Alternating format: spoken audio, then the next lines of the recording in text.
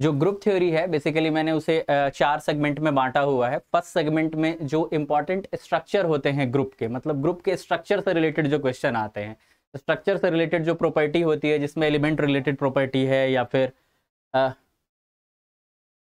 nine forty Asha good evening Vladimir कह रहे sir ये दो सब्जेक्ट के लिए भी होगा। आ, दो सब्जेक्ट के लिए मतलब कि आप पर्टिकुलर कोई सब्जेक्ट परचेज करना चाह रहे हैं? मतलब पूरा कोर्स ना लेकर के सब्जेक्ट लेना चाह रहे हैं ऐसा? हाँ अगर आप ऐसा चाह रहे हैं तो डेफिनेटली वहाँ भी होगा ये, ठीक है? तो इसे हमने क्या किया है कि चार इंपॉर्टेंट सेगमेंट में बांटा हुआ है। पहले इंपॉर्टेंट स्ट्रक्चर की बात करेंगे, जिसमें कि स्ट्रक्चर रिलेटेड ग्रुप का जो स्ट्रक्चर होता है, उस पर बेस्ड जो क्वेश्चन होते हैं, उसकी बात करेंगे। और देन हम बात करेंगे क्लास इक्वेशन नॉर्मल सब ग्रुप की देन क्वेश्चन ग्रुप होमोमॉर्फिज्म की, और देन कुछ साइलो के कॉन्सेप्ट को, ठीक है? ओके okay, तो स्टार्ट करते हैं। तो जो क्वेश्चन हमारा आ,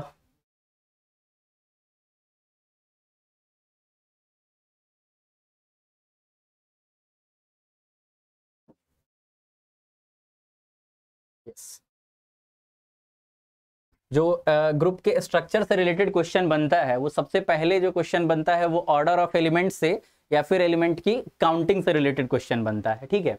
तो जैसे कि इस क्वेश्चन को अगर हम देखें तो यहाँ पे क्या है कि let G be a group of order n and H is equal to x belongs to G such that x to the power k not equal to identity then which of the following is are correct ठीक है? H एक set मेरे पास है और उसमें वैसे element हैं जो केथ पावर पे आइडेंटिटी नहीं देते हैं। Then which of the following are correct तो ये के है उसके रिस्पेक्ट में और एन जो कि ग्रुप का ऑर्डर होगा। उसके रिस्पेक्ट में कुछ बातें कही गई है यहाँ पे। तो आपको बताना है कि कौन सा ऑप्शन इसमें से ट्रू होगा, ठीक है? यहाँ पे के हमने आर्बिट्ररी लिया हुआ है। आमतौर पे जो आप क्वेश्चन पीवाई में देख सकते हैं, वो यहाँ के की कोई वैल्यू रखता है। तो हमने के के डिफरेंट वैल्यूज़ के लिए यहाँ पे चॉइसेस रखी है आपके सामने, ठीक है?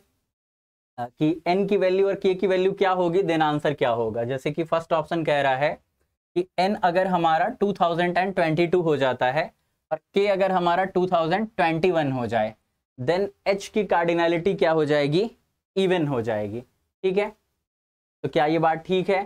फिर आपको देखना है कि एन अगर 2021 है और के अगर 2020 है देन एच की कार्डिनलिटी क्या होगी?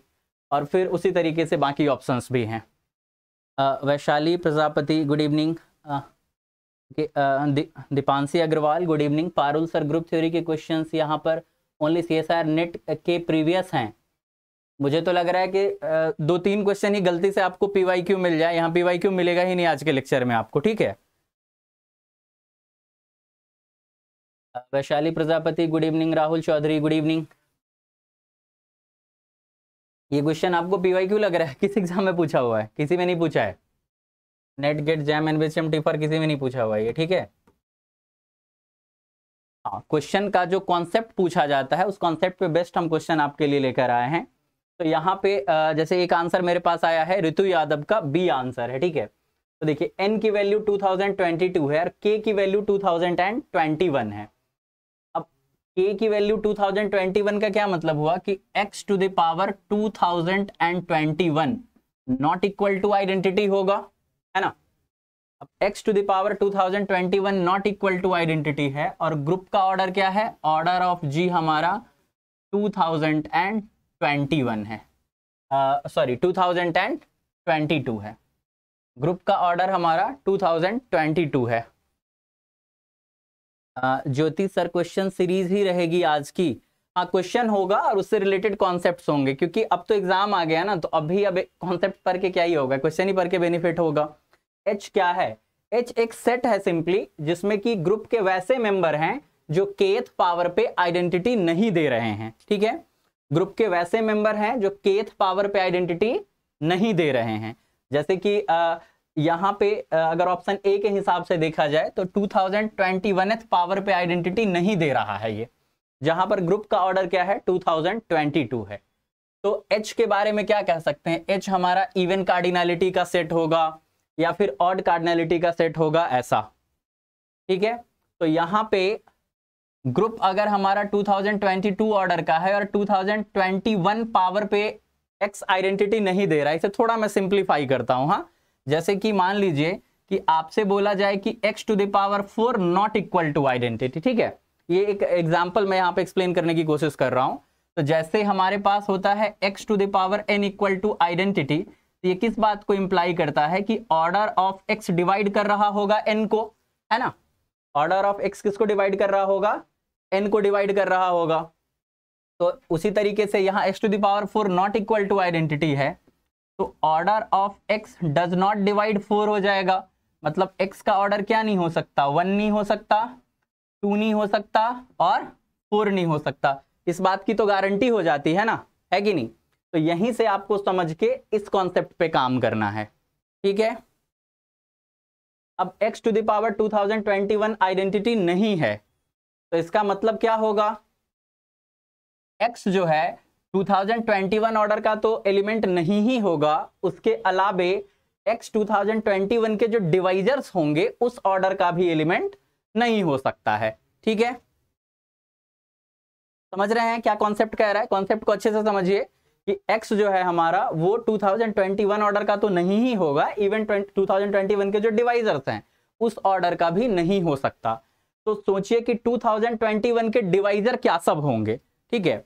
तो अब यहीं से जो कॉन्सेप्ट हमें यूज़ करना है, वो सामने निकल कर आएगा कि 2021 के जो डिवाइजर होंगे, वो क्या होंगे? तो 2021 एक ऑड नंबर है, ठीक है? और ऑड नंबर को कोई इवन नंबर डिवाइड नहीं कर सकता, ठीक है? क्योंकि अगर इवन नंबर ऑड नंबर को डिवाइड करेगा तो उसमें टू का फैक्टर निकलेगा तो वो इवन हो जाएगा ना। तो इसका मतलब एक्स जो है हमारा, इसका ऑर्डर क्या होगा? ऑर्डर ऑफ़ एक्स जो है, पहली बात तो वन नहीं हो सकता, है ना? क्योंकि एक्स वन ऑर्डर का एलिमेंट होता तो किसी भी पावर पे आइडेंटिटी देता। और इवन ऑर्डर ऑफ़ एक्स क्या नहीं हो सकता है? टू भी नहीं हो सकता है। क्योंकि order of x sorry one minute x का ऑर्डर क्या करेगा? इसको डिवाइड नहीं करेगा। मतलब एक्स का ऑर्डर इवन हो सकता है यहाँ पे, ठीक है? क्योंकि यहाँ पे सेकंड पावर पे हमें क्या मिलेगा? अगर आइडेंटिटी मिल रहा है तो डेफिनेटली 2021 पावर पे नहीं मिलेगा। तो x का ऑर्डर टू यहाँ पे पॉसिबल है।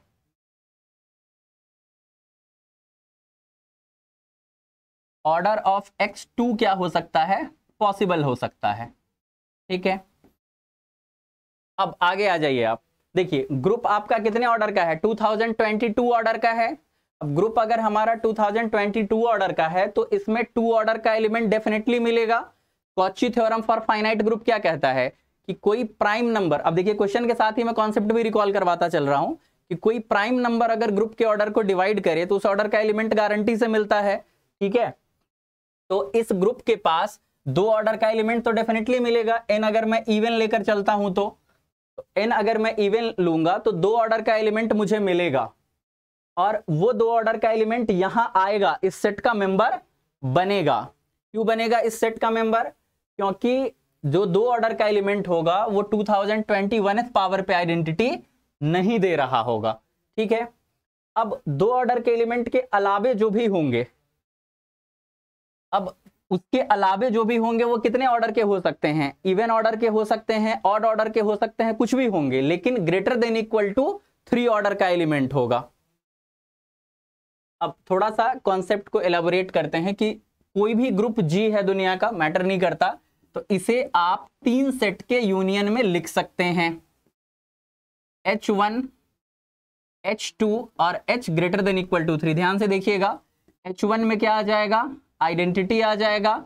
एच टू में क्या आ जाएगा? X such that order of x equal to two और यहाँ पे क्या आ जाएगा? X such that order of x greater than equal to three दुनिया का कोई भी ग्रुप जी है, उसे आप इन तीन सेट के यूनियन में हमेशा दिखा सकते हैं, ठीक है? तो तीन या तीन से बड़े ऑर्डर के एलिमेंट का कलेक्शन जो होता है, वो हमेशा क्या होता है? इवन कलेक्शन होता है। ये कलेक्शन हमेशा इवन होगा। क्यों? क्योंकि जो रिज़ल्ट हम पढ़ते टाइम प्रूफ करते हैं कि एक या दो ऑर्डर के जो एलिमेंट होते हैं, वही सेल्फ इनवर्स होते हैं। ये if and only if condition है कि अगर कोई एलिमेंट सेल्फ इनवर्स है तो इफ़ एंड ऑन लिफ या एक या दो ऑर्डर का होगा। और तीन या तीन से बड़े ऑर्डर का एलिमेंट कभी सेल्फ इनवर्स नहीं हो सकता। तो तीन ऑर्डर का कोई एक एलिमेंट यहाँ पे आएगा तो साथ में उसका इनवर्स भी आएगा जो तीन ऑर्डर का होगा तो काउंटिंग को इवन बना देगा।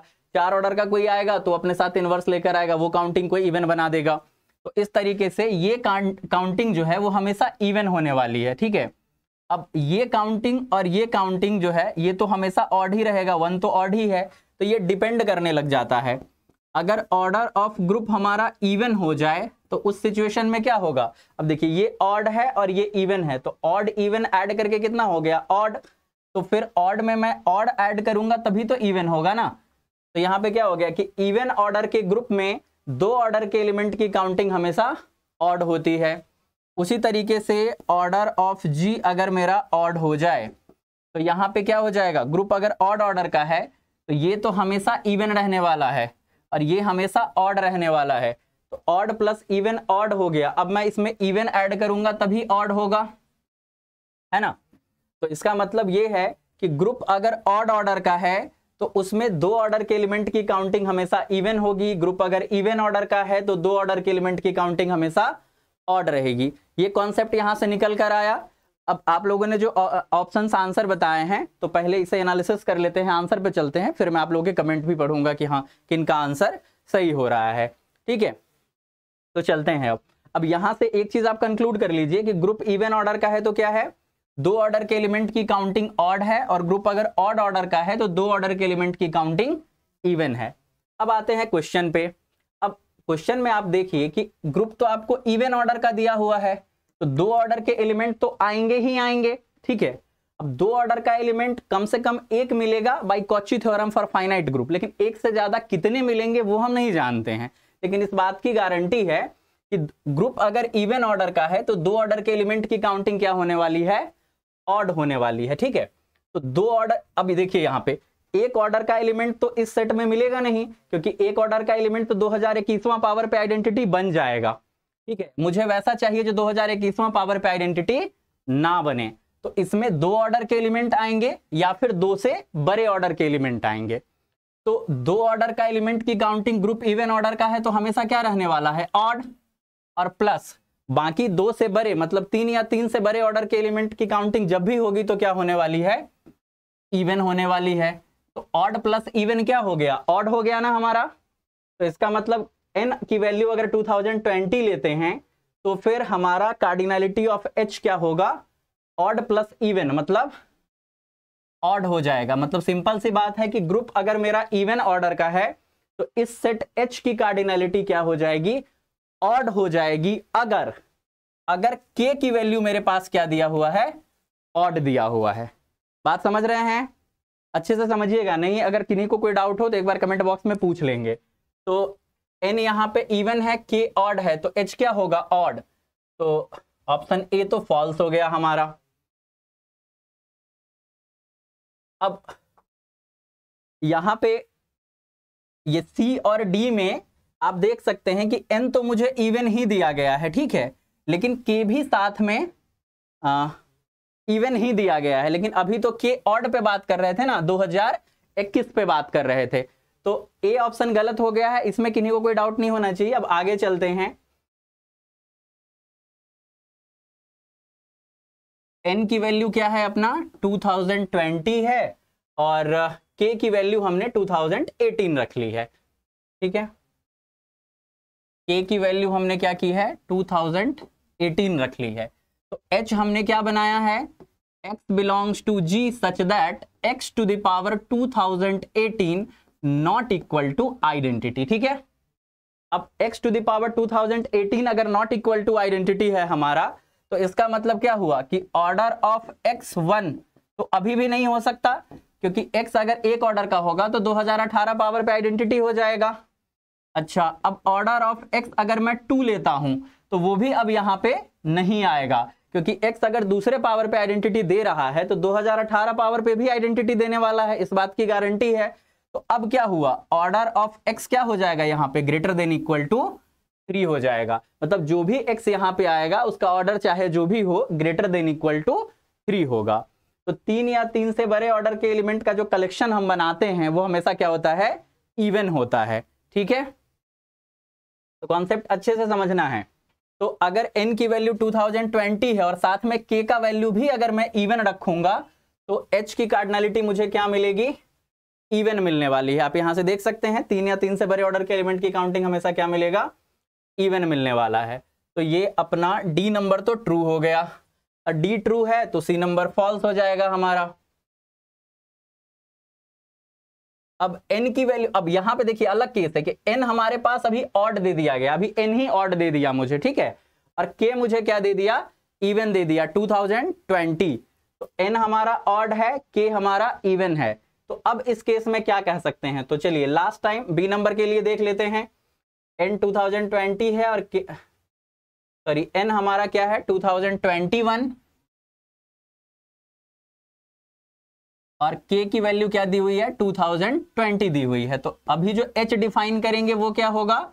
x such that x to the power 2020 is not equal to identity ये बनेगा हमारा। तो अब देख लीजिए, n हमारा 2021 ऑर्डर का है मतलब n हमारा ऑड ऑर्डर का है। तो ऑर्डर ऑफ़ x अगर वन हुआ तो वो h का मेंबर नहीं बनेगा, क्योंकि अगर आइडेंटिटी है तो 2020 पावर पे भी आइडेंटिटी बनने वाला है। अब ऑर्डर ऑफ़ एक्स अगर मैं टू लूँगा, तब तो वो इसलिए कभी नहीं होगा, क्योंकि ग्रुप हमारा ऑड ऑर्डर का है। ग्रुप के ऑर्डर को टू डिवाइड ही नहीं कर रहा है तो यहाँ तो दो ऑर्डर का एलिमेंट होगा ही नहीं तो इसमें कहाँ से बिलोंग करेगा? अब इसका मतलब क्या हो गया कि इस केस में अब order of x greater than equal to three होगा, तब जाकर के वो यहाँ का मेंबर बनेगा, ठीक है? तो अब यहाँ पे तीन या तीन से बड़े ऑर्डर के सेलेक्टिव एलिमेंट का कलेक्शन यहाँ पे क्या बनेगा हमेशा? इवन बनने वाला है, ठीक है? निखिल, आपका जो भी क्वेश्चन है, मैं आ रहा हूँ उस क्वेश्चन पे। पहले इस क्वेश्चन को कंक्लूड करता हूँ मैं, ठीक है? तो order of x greater than equal to three type के एलिमेंट यहाँ पे आएँगे तो उनकी काउंटिंग हमेशा इवन रहने वाली है। तो मतलब एन अगर ऑड है और के अगर मेरा इवन है तो एच मेरा इवन बनेगा। वो यहाँ से हम कंक्लूड कर रहे हैं।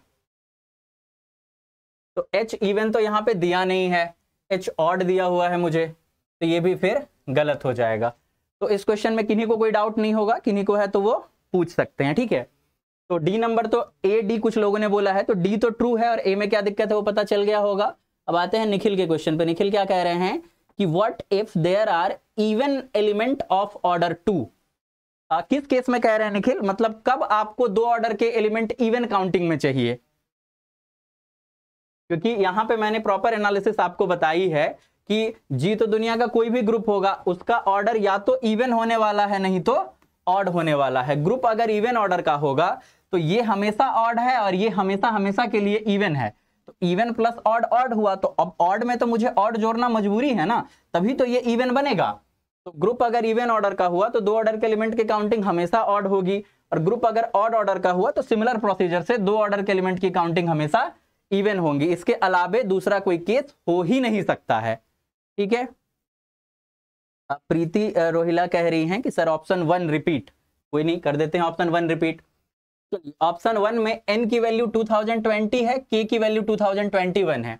मैं फिर से एक्सप्लेन कर देता हूँ इसको हाँ। या फिर आ, यहीं पे तो किया था। चलो कोई नहीं मैं इसको वाइप आउट करता हूँ और फिर से क्लियरली एक्सप्लेन कर देता हूँ इसको। इस क्वेश्चन को करने के बाद दो ऑर्डर के एलिमेंट की काउंटिंग जैसे क्वेश्चन में आपको लाइफ में कभी दिक्कत नहीं आएगी ठीक है? एन की वैल्यू 2020 है।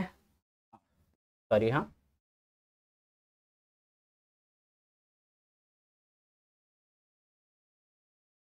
एन की वैल्यू क्या है? 2022 है। और के की वैल्यू है हमारा 2021 तो जो एच हमने डिफाइन किया है वो क्या है? X belongs to G such that x to the power के के का मतलब 2021 is not equal to identity ठीक है? तो अब देखिए अगर मैं x का ऑर्डर क्या लेता हूँ? अगर x का ऑर्डर मैं वन लूँगा तो एक ऑर्डर का एलिमेंट तो यहाँ नहीं आएगा, क्योंकि वो तो दो हज़ार पावर में भी आइडेंटिटी होगा तो ये यहाँ नहीं जाएगा। अगर ऑर्डर ऑफ़ x में क्या करता हूँ? टू ले लेता हूँ। तो ग्रुप इवन ऑर्डर का है, इसमें दो ऑर्डर का एलिमेंट निश्चित रूप से मिलेगा। तो जो एलिमेंट दूसरे पावर पे आइडेंटिटी बन रहा है, वो हर इवन पावर पे मतलब फिर चौथे पावर पे, छठे पावर पे, आठवें पावर पे, है ना, इस तरीके से आइडेंटिटी बनता रहेगा, लेकिन ऑड पावर पे आइडेंटिटी नहीं बनेगा, क्योंकि ये दो ऑर्डर का एलिमेंट है। तो इसका मतलब ये जो दो ऑर्डर का एलिमेंट है, ये यहाँ पे आएगा। अब अभी अगला वाला कॉन्सेप्ट क्या था? कि ग्रुप अगर इवन ऑर्डर का होगा तो उसमें दो ऑर्डर के एलिमेंट की काउंटिंग क्या होगी हमेशा? ऑड होने वाली है। तो इसमें मतलब दो ऑर्डर के एलिमेंट जो आएँगे वो किस तरह से आएँगे? ऑड काउंटिंग में आएँगे। मतलब ये दो ऑर्डर का सारा एलिमेंट यहाँ पे चला आएगा। और किस काउंटिंग में आएगा? ऑड काउंटिंग में। अब इसके अलावे जो एलिमेंट आएँगे, उनका order greater than equal to three होगा। तो ये जब भी आते हैं तो पेयर में आते हैं। तो इवन काउंटिंग के साथ आएँगे। तो ऑड प्लस इवन अब टोटल काउंटिंग क्या हो जाएगी? अपनी ऑड हो जाएगी। बट ऑप्शन ए में आपको इवन दिया हुआ है। इसलिए ये फॉल्स हो गया। ठीक है?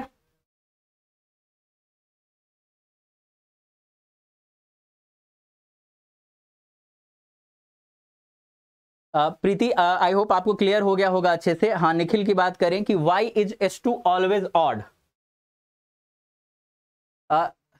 Nikhil H two always odd कहाँ हो रहा है? जब ग्रुप इवन ऑर्डर का है, तब हमारा एच टू ऑड ऑर्डर का है ना? जब ग्रुप हमारा ऑड ऑर्डर का है तो एच टू इवन ऑर्डर का हुआ ना?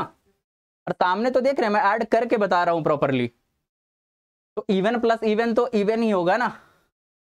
निखिल कह रहे हैं इवन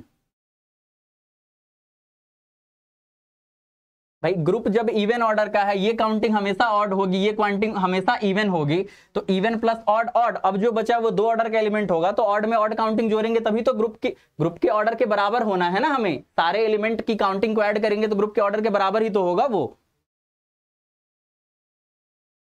ठीक है? चलिए। चलते हैं नेक्स्ट क्वेश्चन पे।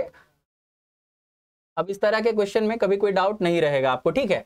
तो चलिए एक और क्वेश्चन आपके सामने है। पिछली बार के पे इन जनरल करवाया मैंने आपको अब एक्स की वैल्यू 15 रख के क्वेश्चन दिया है तो आई होप इस क्वेश्चन का आंसर आप लोग बहुत अच्छे से करेंगे। बताइए इस क्वेश्चन का क्या आंसर है?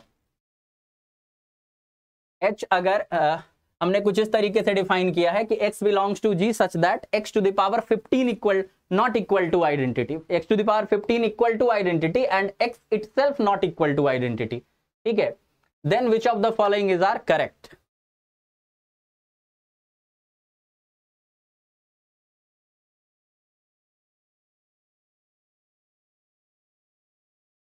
हाँ जी, बिल्कुल।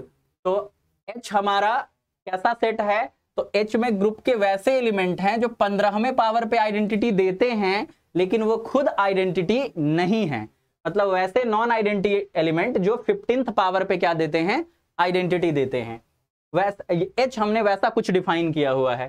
तो अब एन के इवन होने से या एच के ऑड होने से ग्रुप के ऑर्डर के बारे में मतलब ग्रुप के ऑर्डर के इवन ऑड होने से एच की कार्डिनलिटी के बारे में या एच की कार्डिनलिटी के इवन ऑड होने से ग्रुप के ऑर्डर के बारे में हम क्या कह सकते हैं? इस क्वेश्चन में बेसिकली ये पूछा गया है हमसे। ठीक है?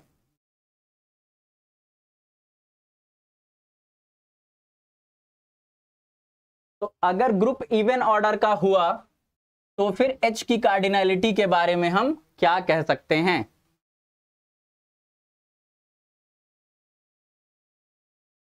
चलिए ऑप्शन ए आपने सही कहा है व्लादिमिर पुतिन तो करते हैं डिस्कस जस्ट एक मिनट का पॉज ले लेते हैं, ताकि बाकी बच्चे जो ट्राई कर रहे हैं, उनका भी ओपिनियन आ जाए। नवजोत कह रहे हैं ए है।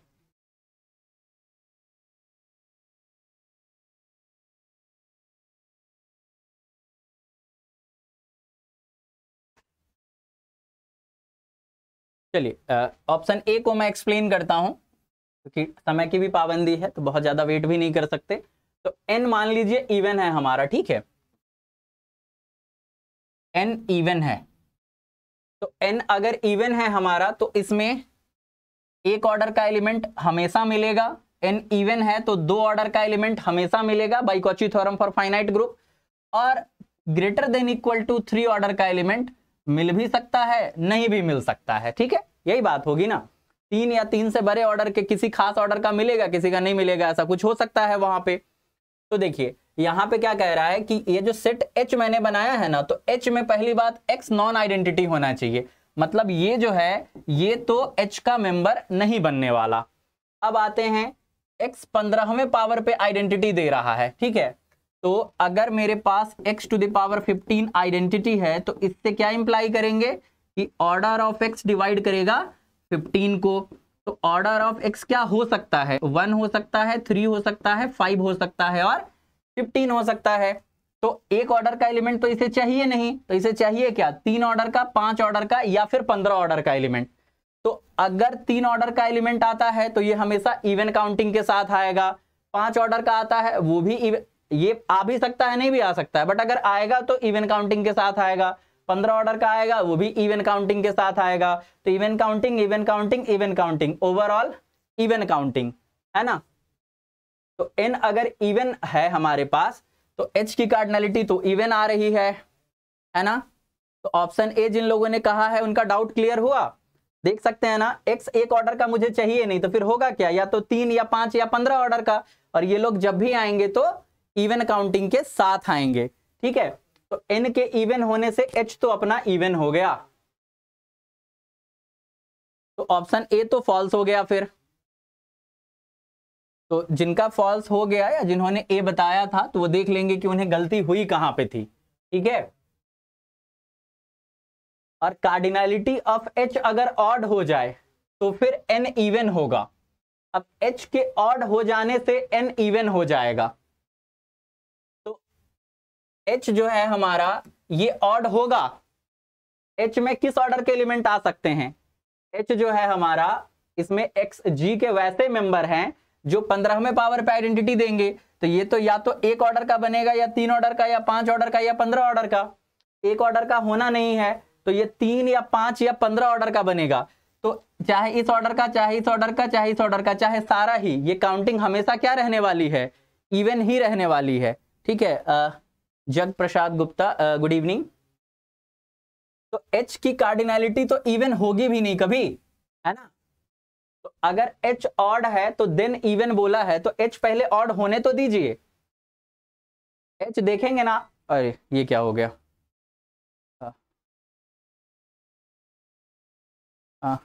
Sorry for interruption there is is technical issue issue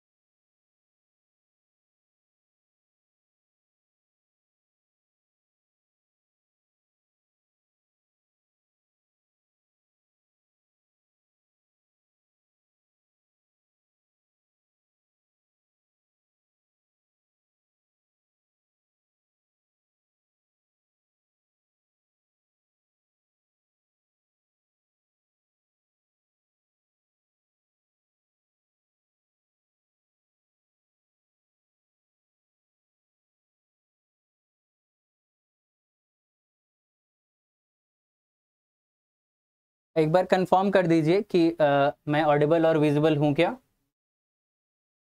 तो फिर स्टार्ट कर लें हम लोग सेशन को।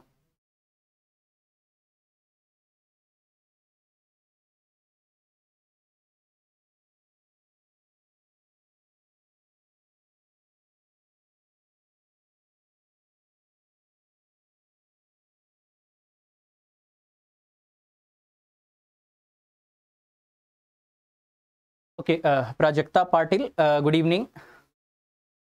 ठीक है निखिल यस प्रीति हाँ ठीक है तो अब एक्सप्लेनेशन फिर से स्टार्ट कर लेते हैं, ठीक है? तो हम ऑप्शन ए को इनकरेक्ट ऑलरेडी कर चुके हैं हम लोग, है ना? कि एन जब इवन था हमारा तो एच क्या बन रहा था हमारा? इवन बन रहा था। चलिए, मैं एक बार फिर से लिख दे रहा हूँ कि पहले एच की ही बात कर लूँ कि एच में एलिमेंट किस तरह के हैं? कि x belongs to G such that x to the power fifteen is not equal to sorry, x to the power 15 equal to identity, but x itself is not identity. X to the power 15 equal to identity and x itself not identity. तो order of x divide कर रहा है यहाँ पे 15 को तो x यहाँ पे 1 3 5 एंड 15 ऑर्डर का हो सकता है। वन ऑर्डर का नहीं होगा क्योंकि आइडेंटिटी नहीं चाहिए। X या तो तीन ऑर्डर का होगा, पाँच ऑर्डर का होगा या पंद्रह ऑर्डर का होगा। और ये हमेशा इवन काउंटिंग में आएगा, ये इवन काउंटिंग में आएगा और ये इवन काउंटिंग में आएगा। ठीक है? तो एन अगर इवन है हमारे पास तो फिर एच जो है, वो ऑड हो, ऐसा नहीं होगा। एच हमेशा क्या होने वाला है? इवन इवन अभी तो खैर एन इवन पे हम बात कर रहे हैं ना। मेरा आपसे ये कहना है कि ये जो डिस्कशन मैंने किया है कि एक्स का ऑर्डर 15 को डिवाइड करेगा तो एक्स का ऑर्डर एक, तीन, पाँच या पंद्रह होगा, एक नहीं होगा और यहाँ से इवन होगा तो इसमें तो ग्रुप के ऑर्डर का कोई रोल भी नहीं है है ना? ग्रुप का ऑर्डर चाहे जो भी हो इवन हो ऑड हो, एक ऑर्डर का यहाँ लेना नहीं है और बाकी जो भी आएगा, वो हमेशा इवन काउंटिंग में आएगा, ठीक है? तो अगर एन इवन है देन एच ऑड ये हमारा फॉल्स हो जाएगा। फिर कह रहा है कि एच अगर ऑड है देन एन इवन आएगा। तो एच के ऑड इवन होने से हमारे इस रिज़ल्ट को फ़र्क नहीं पड़ रहा है, ठीक है? ये इवन ही रहेगा। तो ये ट्रू हो गया हमारा। फिर कह रहा है कि एन अगर ऑड हुआ तो एच इवन हो जाएगा। इवन एच तो हर हाल में ही हमारा इवन है है ना? तो ये ट्रू हो गया। अब इसके बाद एच अगर इवन है देन एन हमारा ऑड हो जाएगा।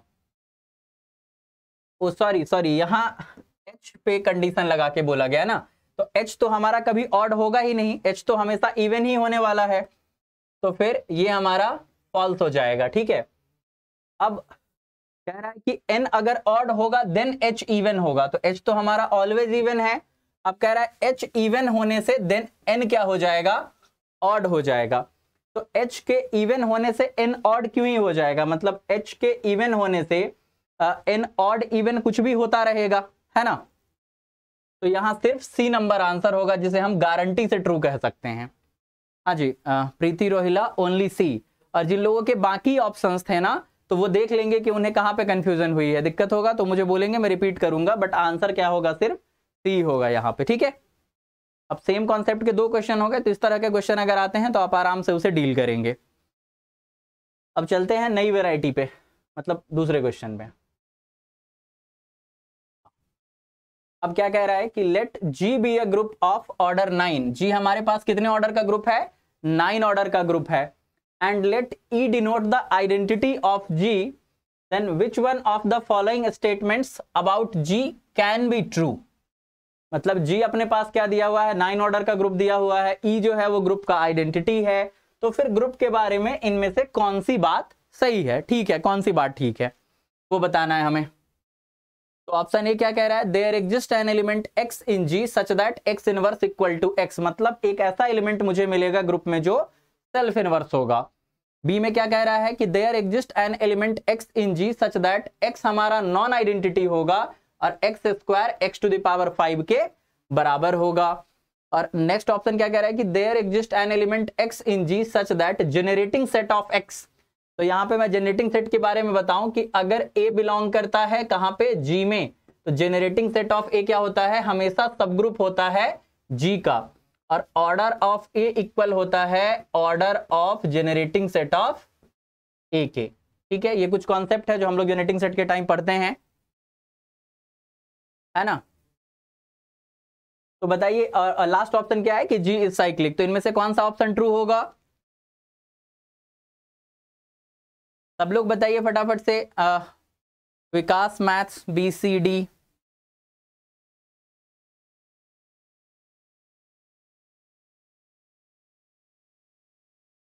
Navjot option D किसका रिपीट करने बोल रहा है? पिछले क्वेश्चन का क्या? अगर आप पिछले का बोल रहे हैं तो एक बार फिर से कमेंट बॉक्स में बता दीजिए, मैं कर दूँगा रिपीट क्योंकि जो ही करेंगे, अच्छे से करके जाना है ना अभी। दीपक जी ए सी ओके फटाफट से आंसर करिए प्रीति रोहिला एबीसीडी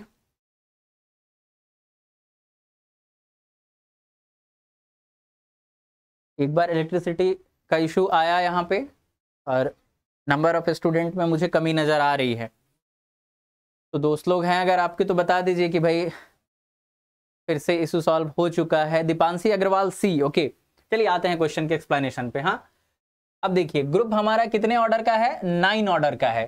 तो मेरा कहना है ऑप्शन ए के बारे में कि ग्रुप चाहे नाइन ऑर्डर का हो, चाहे कितने भी ऑर्डर का हो फाइनाइट इनफाइनाइट में काउंटेबल अनकाउंटेबल किसी भी ऑर्डर का हो मैटर क्या करता है?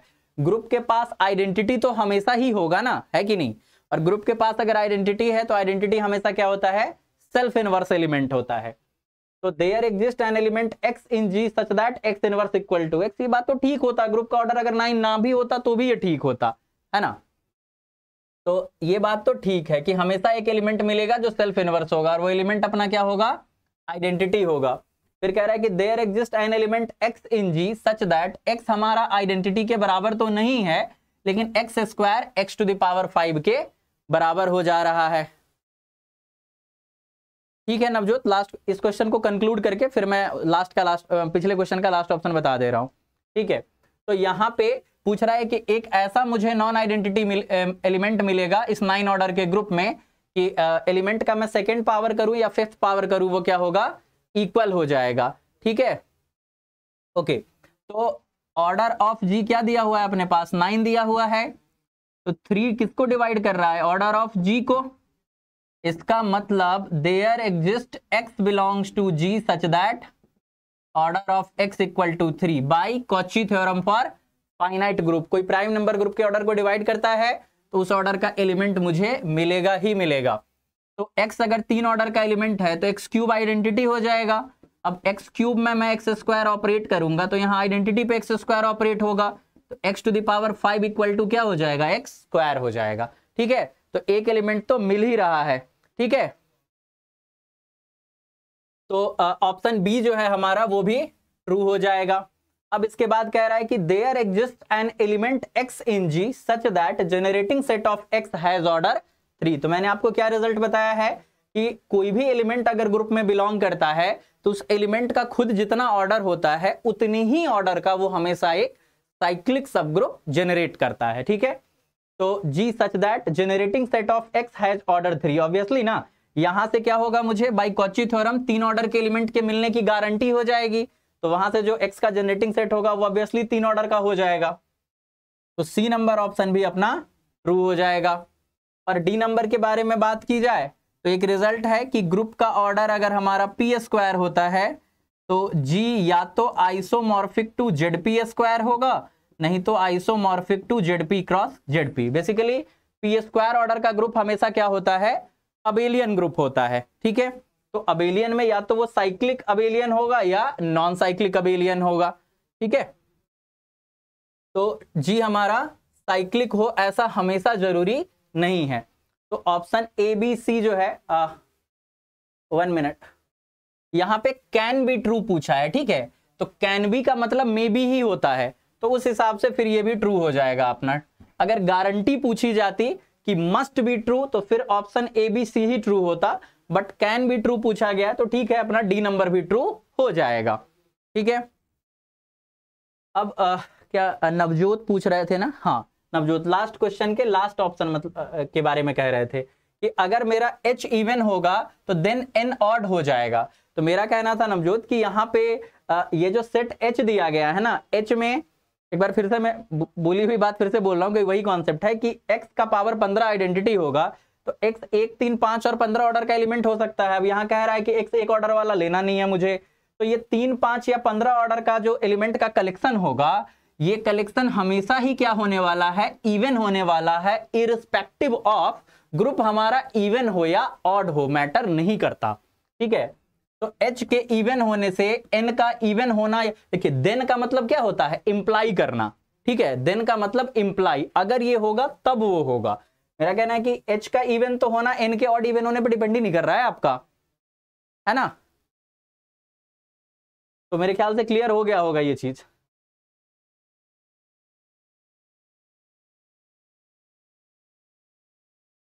चलिए, अब अगले क्वेश्चन पे चलते हैं। उसमें तो कोई डाउट बचा नहीं होगा। अब क्लास इक्वेशन नॉर्मल सब ग्रुप जो हमारा बहुत इंपॉर्टेंट कॉन्सेप्ट है क्लास इक्वेशन से ही हम नॉर्मल सब ग्रुप भी अगर फाइनाइट ग्रुप के बारे में बात कर रहे होते हैं तो आइडेंटिफाई कर लेते हैं। तो अब यहाँ पे उससे संबंधित कुछ क्वेश्चन देखते हैं कि जी हमारे पास कोई फाइनाइट ग्रुप है कितने ऑर्डर का? एन ऑर्डर का। ठीक है?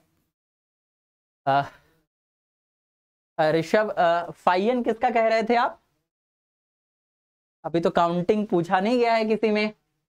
चलिए देखते हैं question let G be a finite group of order n then largest possible cardinality of any conjugate class is अगर मान लीजिए कि ग्रुप हमारे पास एन ऑर्डर का है फाइनाइट ऑर्डर का है basically the largest possible cardinality of any conjugate class मतलब किसी भी फाइनाइट ग्रुप में किसी कॉन्जुगेट क्लास की कार्डिनलिटी जो है, वो सबसे बड़ी होगी तो क्या हो सकती है? क्वेश्चन समझ रहे होंगे आप लोग कि ग्रुप हमारे पास कोई भी फाइनाइट ऑर्डर का है मैटर नहीं करता। अच्छा। तो 940 आशा कह रहे हैं कि सर मतलब ऐसा ग्रुप एग्जिस्ट नहीं करेगा नाइन ऑर्डर का such that cardinality of element of order two is eight one minute मैं एक बार फिर से आपके क्वेश्चन को पढ़ूं कि uh, ऐसा ग्रुप uh, एग्जिस्ट नहीं करेगा नाइन ऑर्डर का such that cardinality of element करेगा ना? अरे Z three cross Z three जो है अपने पास ये क्या है? Z three cross Z three में sorry sorry sorry nine order के ग्रुप की बात कर रहे हैं। हाँ बिल्कुल नहीं करेगा। क्योंकि नाइन ऑर्डर का ग्रुप जो है, उसको तो वैसे भी टू डिवाइड नहीं करता तो दो ऑर्डर के एलिमेंट मिलेंगे कैसे? ये तो करने की ज़रूरत भी नहीं है तो मैं ऐसे ही बह गया था बस। नाइन ऑर्डर का ग्रुप है तो टू तो नाइन को डिवाइड भी नहीं करता तो दो ऑर्डर के एलिमेंट तो वैसे भी नहीं मिलेंगे, वहाँ पे ज़ीरो मिलेंगे, है ना? मोनालिशा महापात्रा कह रही है एन माइनस वन ठीक है। आंसर करिए, अरे एक ही आंसर आया है अभी तक। आंसर करिए आप लोग, फिर मैं एक्सप्लेन करता हूँ तो फिर इंटरेस्टिंग लगेगा सुन के, मज़ा आएगा। चलिए ग्रुप थ्योरी या फिर जो मॉडल जब रहा है, वो अपने आप में काफ़ी इंटरेस्टिंग सब्जेक्ट है है ना? बस उसे थोड़ा समझ के पढ़ा जाए, चीज़ों को लिंक करके पढ़ा जाए तो मज़ा आएगा समझ के।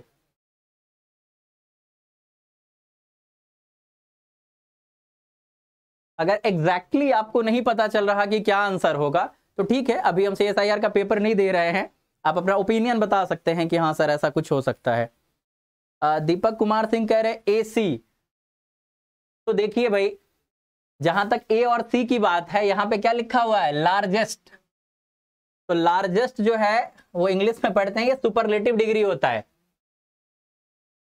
तो ये हमेशा अकेला होगा। दो चीज़ें लार्जेस्ट नहीं हो सकती ना।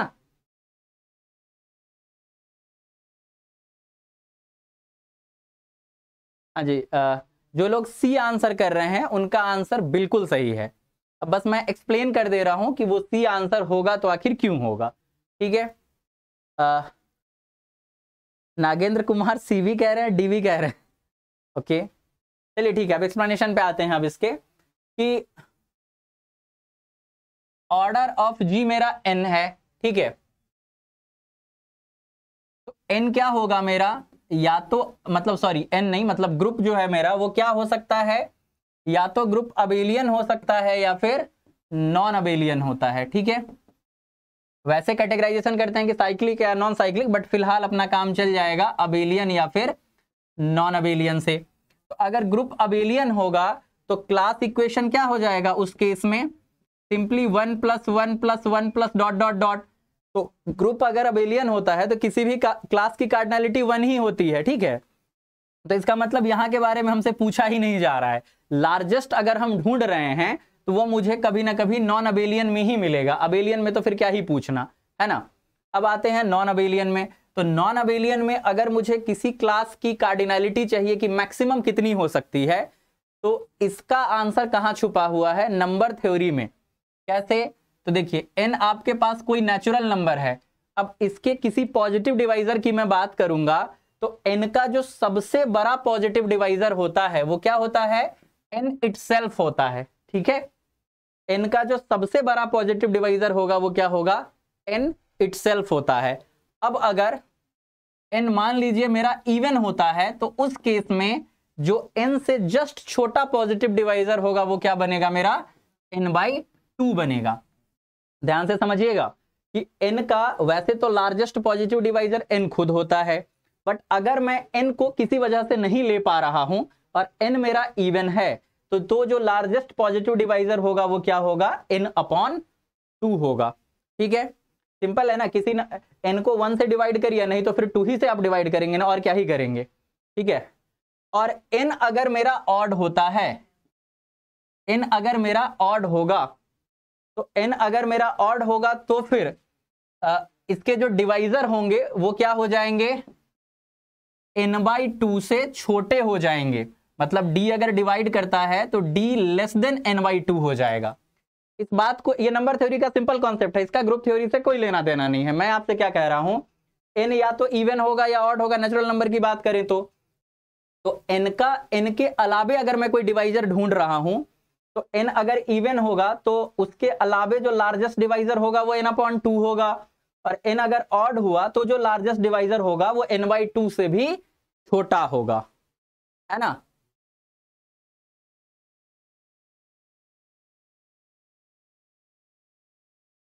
इस बात को एग्री करते हैं कि नहीं करते हैं? फिर आएँगे यहाँ पे। क्या हुआ? बोल क्यों नहीं रहे? इस बात को एग्री कर रहे हैं?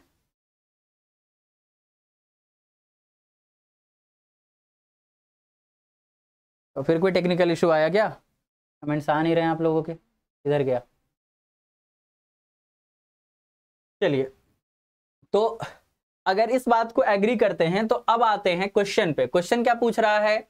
The largest possible cardinality of any conjugate class तो हम लोग क्या पढ़ते हैं कि जो कॉन्जुगेट क्लास की कार्डिनलिटी होती है उस आ, वो क्या करता है हमेशा ग्रुप के ऑर्डर को डिवाइड करता है। हम क्या कॉन्सेप्ट पढ़ते हैं कि x belongs to G then class of x का मतलब मैं कॉन्जुगेट क्लास ऑफ़ x की बात कर रहा हूँ। Cardinality of conjugate class of x किसको डिवाइड करेगा? ग्रुप के ऑर्डर को डिवाइड करेगा हमेशा डिवाइड करेगा। तो अब देखिए मुझे यहाँ पे कॉन्जुगेट क्लास की कार्डिनलिटी के बारे में बात करनी है। तो जो भी कॉन्जुगेट क्लास का कार्डिनलिटी बनेगा वो ग्रुप के ऑर्डर का डिवाइजर ही बनेगा ना। मतलब इनका डिवाइजर ही बनने वाला है, ठीक है? हाँ बिल्कुल cardinality of any conjugate class must divide अगर हम फाइनाइट के केस में बात कर रहे हैं, तब, ठीक है? तो अब क्या है यहाँ पे कि अबेलियन के केस में तो लार्जेस्ट वैसे भी मुझे नहीं मिलना है। अब मैं ढूंढ रहा हूँ नॉन अबेलियन के केस में। तो देखिए सेंटर में कम से कम एक एलिमेंट आइडेंटिटी तो जाएगा ही, ये बनेगा क्लास ऑफ़ आइडेंटिटी अब क्लास इक्वेशन जो मुझे लिखना है ना वो वन प्लस समथिंग होगा। वन के बाद कुछ और टाइम वन आ सकता है, नहीं आ सकता है मैटर नहीं करता। लेकिन क्लास ऑफ़ आइडेंटिटी में तो हमेशा एक ही एलिमेंट होगा। तो अब जो क्लास मेरे पास आगे चल के बनने वाला है, उस क्लास में एग्जैक्टली एन एलिमेंट तो कभी नहीं हो सकते, क्योंकि एक एलिमेंट आइडेंटिटी के क्लास में जा चुका है। तो अब मतलब अब जो क्लास बनेगा, वो एन कार्डनलिटी का नहीं बनेगा। और क्लास की कार्डिनेटी एन को डिवाइड करती है तो एन से छोटा जो एन का डिवाइजर होगा, वो क्या होगा? या तो एन बाई टू होगा, और नहीं तो एन बाई टू से भी थोड़ा सा छोटा होगा। तो जो मैक्सिमम पॉसिबल होगा, वो यहाँ से क्या आ जाएगा? Greatest integer of n by two तो एन बाई टू खुद एन से छोटा हाइएस्ट हो जाएगा, और नहीं तो फिर आप एन में से सिंपली वन माइनस करेंगे तो एन अगर ऑड है तो वन माइनस करने पे इवन आ जाएगा, फिर टू से डिवाइड कर दीजिए तो वो वहाँ पे कुछ पॉसिबल हो पाएगा। Toba Naj, that's why see uh, cardinality of any conjugate class must divide order of G. हाँ जी बिल्कुल। तो ये क्लियर होगा सब लोगों को? मेरे ख्याल से किन्हीं को कोई डाउट नहीं होगा? तो दो लार्जेस्ट जो पॉसिबल है वो एन बाई टू का ग्रेटेस्ट इंटीजर पॉसिबल है। वो ऑड वाले केस के लिए हमें ग्रेटेस्ट इंटीजर लगाना पड़ता है। तो सी नंबर आंसर हो गया हमारा। चलते हैं नेक्स्ट क्वेश्चन पे। इनमें किन्हीं को कोई डाउट होगा तो बोलेंगे, मैं रिपीट कर दूँगा। अब क्वेश्चन क्या कह रहा है कि जी हमारे पास क्या है? कोई नॉन अबेलियन ग्रुप है, ठीक है? कितने ऑर्डर का? 343 ऑर्डर का। Then number of conjugacy class of cardinality seven are तो सेवन कार्डिनलिटी वाले कॉन्जुगेट क्लास कितने होंगे? अगर मेरे पास ग्रुप 343 ऑर्डर का नॉन अबेलियन ग्रुप है। अगर 343 ऑर्डर का नॉन अबेलियन ग्रुप है मेरे पास तो फिर नंबर ऑफ़ कॉन्जुगेसी क्लास जो कि सेवन कार्डिनलिटी के होंगे वो कितने होंगे?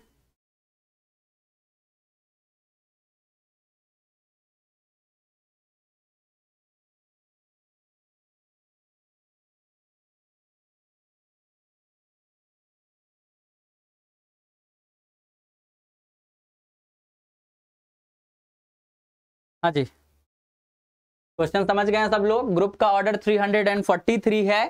तो उसमें सेवन कार्डिनलिटी के क्लास कितने मिलेंगे? जब हम उसका क्लास इक्वेशन लिख रहे होंगे। 343 ऑर्डर के ग्रुप का अगर हम क्लास इक्वेशन लिखेंगे तो उसमें सेवन कार्डिनलिटी के कितने क्लास होंगे? दीपांशी अग्रवाल कह रहे हैं ऑप्शन सी ओके बाकी लोग भी फटाफट कमेंट करिए आंसर बताइए। तो फिर एक्सप्लेन करते हैं इसे। Prajakta Patil C okay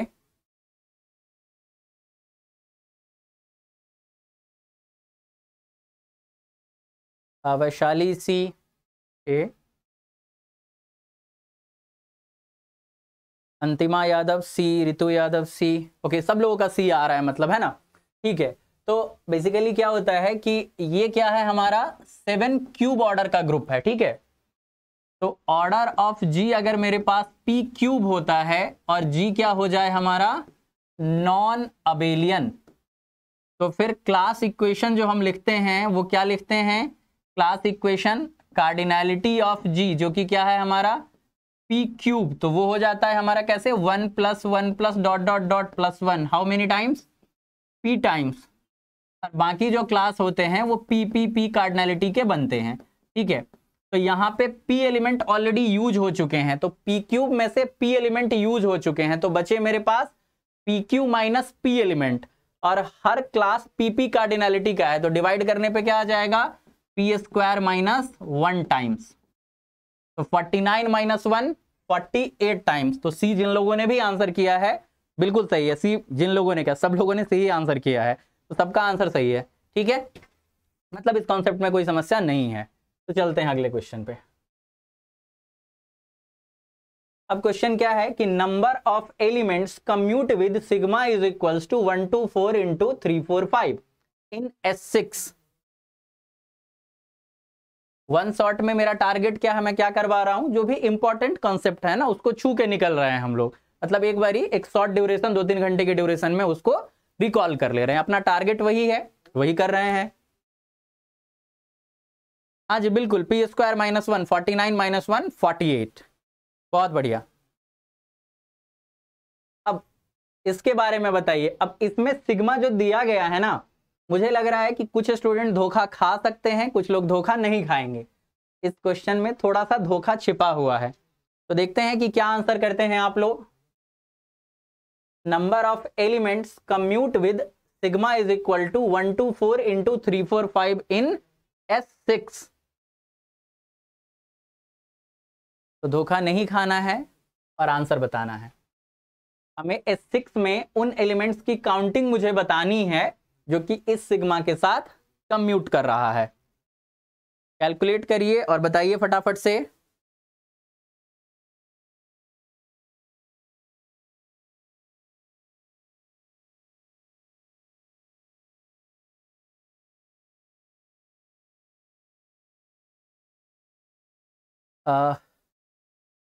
Parul D कह रहे हैं। अच्छा ओके। पारुल डी कह रहे हैं। और रितु यादव। ए सौरभ यादव भी ऑप्शन डी कह रहे हैं। Okay okay. आ, तो जो लोग ऑप्शन डी कह रहे हैं जैसे आ, पारुल ने डी कहा है या फिर सौरभ ने डी कहा है या फिर अभी अंतिमा ने डी कहा है। तो मेरा ये कहना है कि आप दुनिया का कोई ग्रुप उठा लीजिए। Cyclic non cyclic abelian non abelian matter नहीं करता। अगर कोई एलिमेंट ए बिलोंग करता है ग्रुप में तो आप मुझे बताइए कि क्या ये ए के साथ कम्यूट नहीं करेगा? तो ए डॉट ए क्या आ जाएगा? अपना ए स्क्वायर इसको फिर से लिख देंगे ए डॉट ए कम्यूट तो कर ही गया ए के साथ। तो किसी एलिमेंट के साथ बाकी कोई दूसरा कम्यूट करे ना करे, वो खुद तो कम्यूट करेगा, है कि नहीं? तो फिर डी नंबर आंसर तो संभव नहीं है है ना? कि वैसे एलिमेंट की संख्या उसकी काउंटिंग जो किसी खास एलिमेंट से कम्यूट करे, कोई दूसरा करे ना करे, वो बेचारा खुद तो खुद के साथ कम्यूट कर ही लेगा, है ना? तो डी तो बिल्कुल नहीं होगा, है ना? और बाकी तो बहुत सारे लोगों ने करा है Vaishali A Antima D D नहीं होगा अंतिमा एक बार देख लीजिए। आशा ए विनांदा, दीपक और अग्निदीप्तो भट्टाचार्य ए हाँ अब देखिए आशा जैसे आप बोलेंगे तो बोलने से ना बात से बात निकलती है। फिर आप कह रहे हैं इट सेल्फ एंड आइडेंटिटी लेकिन यहाँ पे मैंने क्या बोला है एक कोई भी एलिमेंट है ए अगर खुद आइडेंटिटी हो गया तो इट सेल्फ भी वही है आइडेंटिटी भी वही है। तो इसीलिए मैंने खुद के साथ कम्यूट करेगा ये बोल के छोड़ दिया है। अगर मैं नॉन आइडेंटिटी एलिमेंट बोल रहा होता तब जाकर के होता कि वो एलिमेंट और आ, क्या बोलते हैं उसका आइडेंटिटी ये दो हो जाते ठीक है? हाँ दीपक यही जो मैं धोखा की बात कर रहा था ना, दीपक, वही है कि ये साइकिल डिसजॉइंट नहीं है अभी। एक्चुअल में कभी भी किसी भी ग्रुप के बारे में पूछा जाए कि कोई एलिमेंट दे दिया और उससे कितने एलिमेंट कम्यूट करेंगे तो उसका मतलब होता है कि उस एलिमेंट के नॉर्मलाइजर का ऑर्डर निकालना, ठीक है? नॉर्मलाइजर ऑफ़ ए का क्या डेफिनेशन होता है? X belongs to g such that a x is equal to x a मतलब ग्रुप के वैसे एलिमेंट का कलेक्शन जो कि इस एलिमेंट ए के साथ कम्यूट कर रहा है, ठीक है? तो नॉर्मलाइजर का ऑर्डर बेसिकली निकालना है आपको। तो हम लोग क्या पढ़ते हैं? Cardinality of class of a अगर मैं फाइनाइट ग्रुप में बात कर रहा हूँ डिवीज़न वाला, भाग वाला काम वही होता है। तो cardinality of class of a क्या हो जाएगा?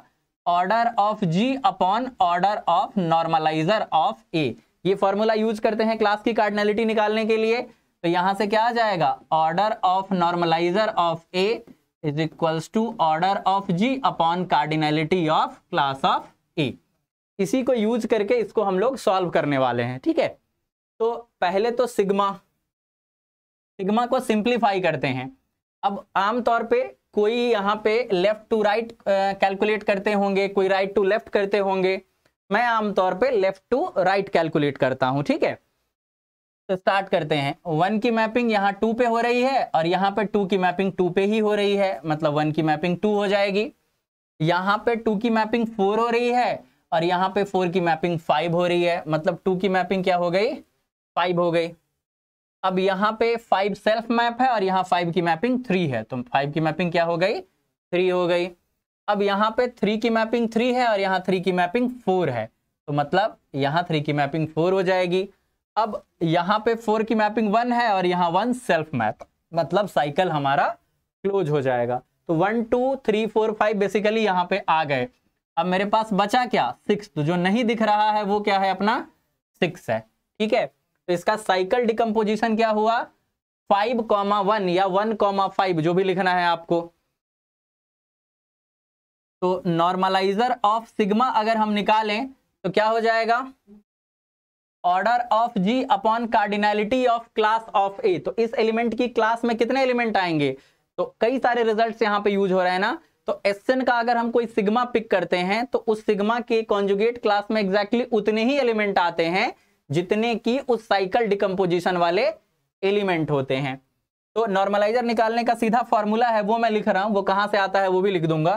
तो नॉर्मलाइजर ऑफ़ सिग्मा क्या हो जाएगा अपने पास simply one to the power one into factorial one और इनटू ये पाँच लेंथ का साइकिल है, एक ही बार आया है। Five to the power one into factorial one. तो बेसिकली वन इंटू फाइव। ये क्या आ जाएगा? फाइव आ जाएगा। ठीक है? तो बहुत सारे लोगों का ए या फिर फाइव आंसर आया है। बिल्कुल सही है। ठीक है? तो एक्चुअल में क्या है कि हमारे पास ग्रुप का ऑर्डर तो फैक्टोरियल एन होता है है ना? और अपॉन यहाँ पे क्या करना होता है हमें? Cardinality of class of a लिखना होता है। तो किसी खास साइकिल डिकम्पोजिशन वाले कितने एलिमेंट होते हैं, उसके लिए कौन सा फॉर्मूला यूज़ करते हैं? One to the power alpha one two to the power alpha two dot dot dot factorial alpha one factorial alpha two ये दोनों कैंसिल हो जाता है और ये ऊपर आ जाता है। तो कुल मिला के यही अपना नॉर्मलाइजर का काउंटिंग हो जाता है। तो मोस्टली लोगों ने फाइव आंसर किया है। हाँ व्लादिमिर पूछ रहे हैं कि, सर राइट टू हाँ तो राइट टू लेफ़्ट आप ऑपरेट करिए या लेफ़्ट टू राइट आपको एलिमेंट भले ही अलग आ जाएगा, लेकिन वो एलिमेंट जो भी आएगा, उसकी प्रॉपर्टी बिल्कुल वही होगी जो राइट टू लेफ़्ट या लेफ़्ट टू राइट कहीं से करने पे आएगा। उसका साइकिल डिकम्पोजिशन बिल्कुल सेम होगा ऑर्डर बिल्कुल सेम होगा। आप अभी देखे होंगे, मेरे पास जो एलिमेंट आया, उसका cycle decomposition one comma five या फाइव कॉमा वन है। आप जो लाए होंगे, उसमें भी साइकिल डिकम्पोजिशन वही आया होगा। तो मैटर नहीं करता कि आप लेफ़्ट टू राइट करते हैं या राइट टू लेफ़्ट मैटर क्या करता है कि आपने कोई भी कैलकुलेशन शुरू किया तो सबसे स्टार्टिंग में फ़र्स्ट लाइन में आपने जो कैलकुलेशन करी है, वही कैलकुलेशन लास्ट लाइन तक आपको लेकर जाना है। ठीक है? तो फिर कोई समस्या नहीं होगी। अब लेफ़्ट टू राइट कर रहे हैं, बीच में अगर राइट टू लेफ़्ट चले आए तो समस्या हो जाएगी। हाँ जी। अब आते हैं नेक्स्ट क्वेश्चन पे। नेक्स्ट क्वेश्चन क्या कह रहा है? कि एफ़ हमारा एस फाइव का मेंबर है और एफ़ की वैल्यू क्या है? One two into three four आखिर एस फाइव में होते क्या है? पाँच एलिमेंट वाले सेट से पाँच एलिमेंट वाले सेट पे one one onto function का ही तो कलेक्शन होता है। तो उसमें से एक फ़ंक्शन अपने ले लिया क्या हुआ? One two into three four then number of permutation which are conjugate to F इस कॉन्सेप्ट पे तो अभी ही बात किए हैं कि किसी एलिमेंट से कॉन्जुगेट कितने एलिमेंट होते हैं? एग्जैक्टली exactly उतने ही एलिमेंट होते हैं जिनका की साइकिल डिकम्पोजिशन उसी एलिमेंट के जैसा होगा। तो सेम साइकिल डिकम्पोजिशन वाले एलिमेंट की काउंटिंग का फॉर्मूला है, जो अभी जस्ट मैंने लिखा था। अब आपको उस फॉर्मूला को लगाना है और आंसर फाइंड आउट करना है। चंद्रकांत गुड इवनिंग चलिए, चंद्रकांत आ गए हैं तो क्वेश्चन सामने है। क्वेश्चन से स्वागत किया जा रहा है आपका। बताइए।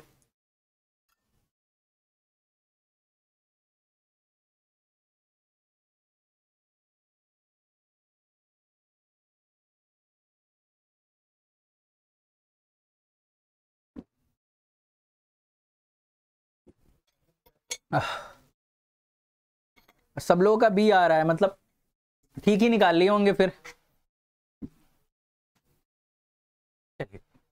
एक बार फिर भी जस्ट अ फॉर्मेलिटी मैं कैलकुलेट कर लूँ कि क्या हो जाएगा? फैक्टोरियल फाइव होल अपॉन यहाँ पे देखिए वन टू थ्री फोर है फाइव नहीं दिख रहा है। ये सेल्फ मैप हो रहा होगा। तो one to the power one one length का साइकिल एक ही आया है इंटू फैक्टोरियल वन और इंटू दो लेंथ का साइकिल दो बार आया है तो फैक्टोरियल टू तो क्या हो जाएगा अपना ये? Five four three two one whole upon one into four into two fifteen ठीक है। बहुत अच्छे। अब चलते हैं अगले क्वेश्चन पे। हाँ जी। अब एक सेट मुझे एच क्या दिया हुआ है? रोमित सेन गुप्ता नहीं नन नहीं होगा। ए होगा। हमने अभी कैलकुलेट किया ना?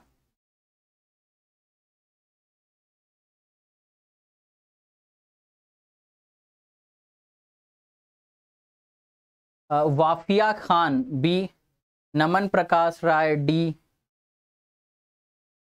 Toba Naaz, D, okay okay, Naman Prakash, D. ठीक है।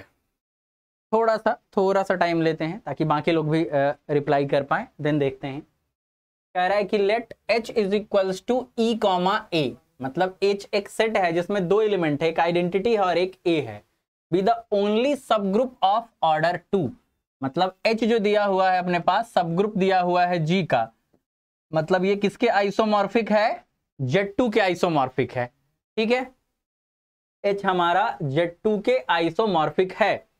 और एच में एलिमेंट कौन कौन है? आइडेंटिटी ए तो मतलब यहाँ से क्या आ गया कि ऑर्डर ऑफ़ ए क्या हो जाएगा? टू हो जाएगा। तो ये दो ऑर्डर का एलिमेंट है यहाँ पे और ये जेड टू बना रहा है। अब be the only subgroup of order two तो पहली चीज़ ये, हम क्या जानते हैं कि अगर किसी ग्रुप में किसी खास ऑर्डर का यूनिक सब ग्रुप हो जाए तो वो क्या होता है? नॉर्मल सब ग्रुप होता है। एक तो वो हो गया। उसके अलावे, अब कह रहा है A belongs to Z G if and only if G is non abelian तो इसमें क्या है? मैं क्या करता हूँ? जी को जेड टू ही ले लेता हूँ। तो क्लास इक्वेशन क्या लिखेंगे? क्लास इक्वेशन हो जाएगा कार्डिनलिटी ऑफ़ जेड टू जो कि हो जाएगा वन प्लस वन ये हो जाएगा क्लास ऑफ़ आइडेंटिटी ये हो जाएगा क्लास ऑफ़ ए तो यहाँ पे ए कहाँ का मेंबर हो गया? सेंटर में बिलोंग कर गया। तो ए को सेंटर में जाने के लिए जी का नॉन अबेलियन होना ज़रूरी नहीं है।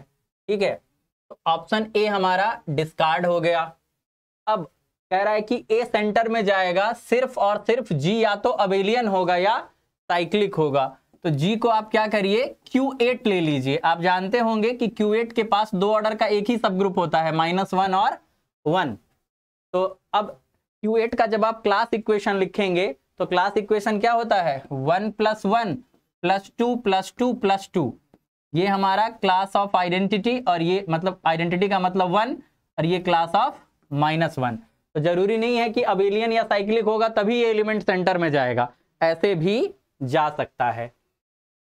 अब आते हैं लास्ट ऑप्शन पे ये जो एलिमेंट ए है ना, ये सेंटर में जाएगा मतलब बी और सी का तो काउंटर एग्ज़ाम्पल हो ही गया। अब डी पे, आप लोग का आंसर बिल्कुल सही है। जिनका भी आंसर डी था, और जिनका आंसर डी नहीं था, वो देख लेंगे कि क्यों गलत हो रहा है उनका। अब ए सेंटर में जाएगा for each finite group G ठीक है? तो क्लास इक्वेशन की बात हम तभी करते हैं जब ग्रुप हमारा फाइनाइट होता है। तो क्लास इक्वेशन ऑफ़ जी जब हम लिख रहे होंगे या फिर सिंपली क्लास इक्वेशन को छोड़िए, ऐसे भी हो जाएगा ये। क्लास ऑफ़ ए जब आप लिख रहे होंगे ना तो ए की क्लास में ए हमेशा ही आएगा, क्योंकि कॉन्जुगेसी का जो रिलेशन होता है, वो इक्विवेलेंस रिलेशन होता है। तो उसमें सबसे पहले हम रिफ्लेक्सिव प्रूफ करते हैं। तो कोई एलिमेंट खुद से रिलेटेड तो होगा ही होगा। तो ए की क्लास में ए हमेशा आएगा। अब मान लीजिए कि कोई बी भी आता है, आगे कोई आए ना आए, मान लीजिए कि एक ही क्लास में जो है बी आ गया। तो यहाँ से क्या इंप्लाई हो जाएगा कि order of A equal to order of B मतलब हम प्रूफ करते हैं पढ़ने के दौरान कि अगर तो कोई दो एलिमेंट कॉन्जुगेट होते हैं तो उनका ऑर्डर आपस में क्या होता है? बराबर होता है। अब ए के अलावे जैसे ही कोई बी आएगा ए का ऑर्डर बी के बराबर हो जाएगा। लेकिन हमारे क्वेश्चन में दिया हुआ है कि ये जो है ना एच ये दो ऑर्डर का यूनिक सब ग्रुप है। तो दो ऑर्डर के हमें किसी भी ग्रुप में उतने ही सब ग्रुप मिलते हैं जितने दो ऑर्डर के एलिमेंट होते हैं। ठीक है? तो इसका मतलब दो ऑर्डर का एक ही एलिमेंट मिला होगा, तभी दो ऑर्डर का एक ही सब ग्रुप मुझे मिला है। तो आगे किसी के लिए भी कॉन्ट्राडिक्शन आ जाएगा। तो ए की क्लास में ए ही आ जाएगा। तो फिर क्या होता है कि A belongs to G is self conjugate self conjugate element का क्या मतलब होता है? जिसकी क्लास में वो एलिमेंट इकलौता आए खुद ही आए। Self conjugate if and only if A कहाँ बिलोंग कर जाए? सेंटर ऑफ़ जी में। आ, अंतिमा कह रही हैं कि सर प्रीवियस क्वेश्चन रिपीट करिए। चलिए इसको कंक्लूड करते हैं फिर प्रीवियस पे चलेंगे। तो इसमें कोई समस्या नहीं होगी ये डी नंबर आंसर होगा हमने इसे प्रूफ कर लिया है। अब आते हैं प्रीवियस क्वेश्चन पे। हाँ जी तो इसमें क्या था कि हमें वैसे एलिमेंट्स की काउंटिंग करनी थी एस फाइव में, जो कि इस एलिमेंट के साथ कंजुगेट हो। तो रिज़ल्ट क्या होता है हमारा? कि sigma and tau belongs to S N such that sigma is conjugate to tau. If and only if cycle decomposition of sigma is equals to cycle decomposition of tau ठीक है? मतलब कोई दो एलिमेंट कॉन्जुगेट होते हैं if and only दोनों का cycle decomposition same हो। और अगर साइकिल डिकम्पोजिशन सेम होने पे कॉन्जुगेट होने का क्या मतलब हुआ? अगर आपको किसी एलिमेंट से कितने एलिमेंट कॉन्जुगेट हैं ये काउंट करना है तो सिंपली उस पे उसके साइकिल डिकम्पोजिशन में कितने एलिमेंट आएँगे ये निकाल लीजिए। क्या लिखा है आपने? आ, सर ये तो एलिमेंट का ऑर्डर फाइंड करते हैं बट कॉन्जुगेट पूछता है ना समझ नहीं नहीं। देखिए ये फॉर्मूला हम कब यूज़ करते हैं कि उस पर्टिकुलर साइकिल डिकम्पोजिशन के कितने एलिमेंट है ये काउंट करने के लिए। अब साइकिल डिकम्पोजिशन सेम होता है एलिमेंट का तो ऑर्डर भी तो सेम होता है ना? ये अलग बात है कि एसएन में ऑर्डर सेम होने का मतलब साइकिल डिकम्पोजिशन सेम होना नहीं होता। जैसे one two into three four भी हमारा दो ऑर्डर का एलिमेंट है और वन टू भी दो ऑर्डर का ही एलिमेंट है। ठीक है? तो ये जो फॉर्मूला है, ये फॉर्मूला किस चीज़ के लिए यूज़ करते हैं? सेम साइकिल डिकम्पोजिशन वाले कितने एलिमेंट होंगे उस एसएन में, उसे काउंट करने के लिए। और सेम साइकिल डिकम्पोजिशन के जितने एलिमेंट होंगे, वही बस आपस में कॉन्जुगेट होंगे। तो इसीलिए इस फॉर्मूला को हमने यहाँ पे यूज़ किया। हाँ जी, अंतिमा समझ आया? या फिर आप जो क्वेश्चन कह रहे थे, वो मुझ तक पहुँचा?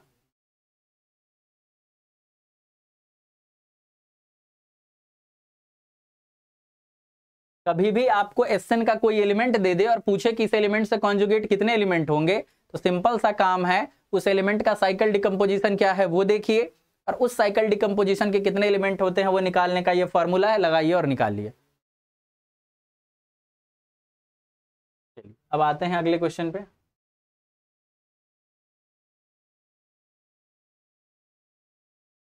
हाँ जी, अब इस क्वेश्चन का आंसर करना है।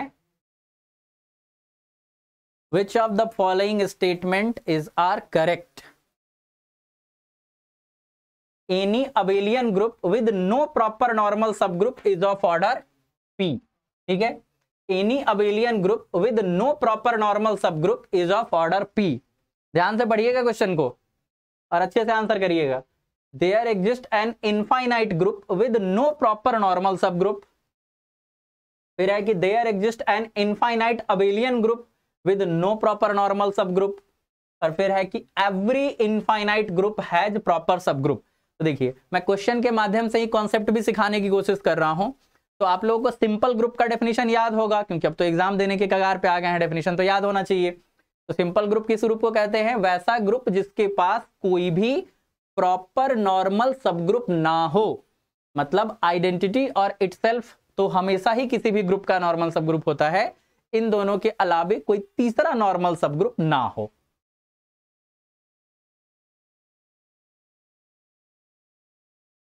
तो मतलब जहाँ पे कह रहा है कि ग्रुप के पास कोई भी प्रॉपर नॉर्मल सब ग्रुप नहीं होगा तो मतलब वो सिंपल ग्रुप के कॉन्सेप्ट को पूछना चाह रहा है आप।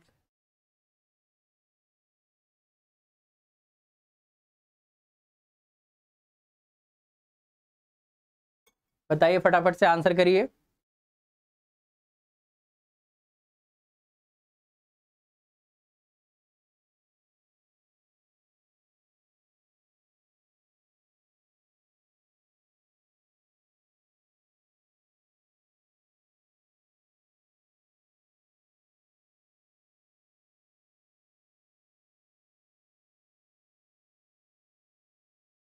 अच्छा okay okay okay Naman Prakash. ठीक है ठीक है। जो कंफ्यूजन है ना कि कम्यूट करने वाले एलिमेंट को काउंट करना और कितने एलिमेंट कॉन्जुगेट होंगे उसे काउंट करना। हाँ बिल्कुल, वो दो अलग चीज़ें हैं। दो कॉन्जुगेट एलिमेंट ज़रूरी नहीं है कि आपस में कॉन्जुगेट करें। कॉन्जुगेट हो या फिर दो एलिमेंट कॉन्जुगेट है, इसका मतलब ये नहीं है कि वो कॉन्जुगेट होंगे। ठीक है? तो मैं, ठीक है, मैं यहाँ साइड में लिखता हूँ।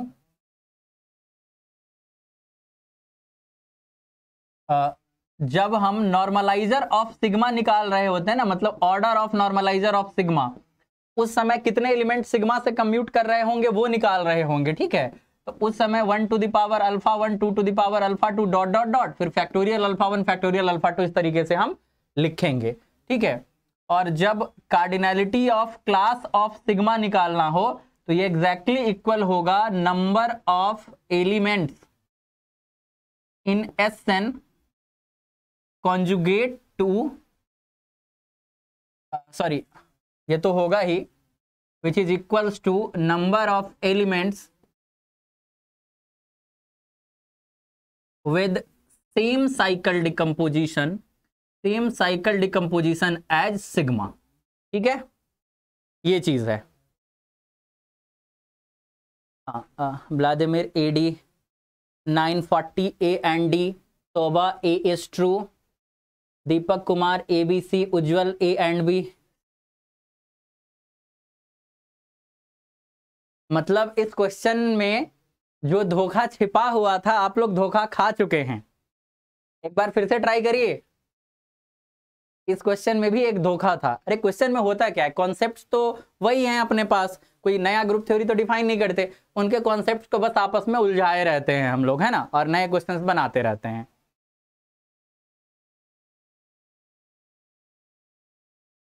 तो इस क्वेश्चन में जो धोखा छिपा हुआ है धोखा खा चुके हैं।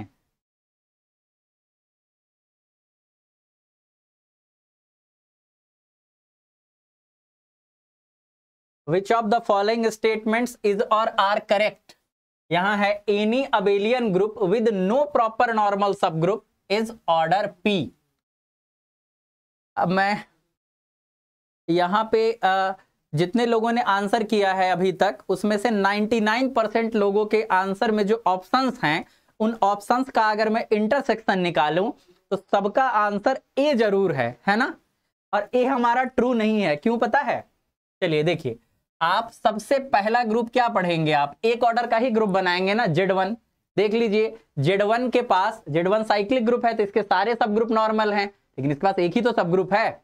तो प्रॉपर नॉर्मल सब ग्रुप थोड़ी है। इसके पास जो सब ग्रुप नॉर्मल है इटसेल्फ वो तो इम्प्रॉपर है ना? तो इसके पास कोई प्रॉपर नॉर्मल सब ग्रुप नहीं है और ये पी ऑर्डर का भी नहीं है। है ना?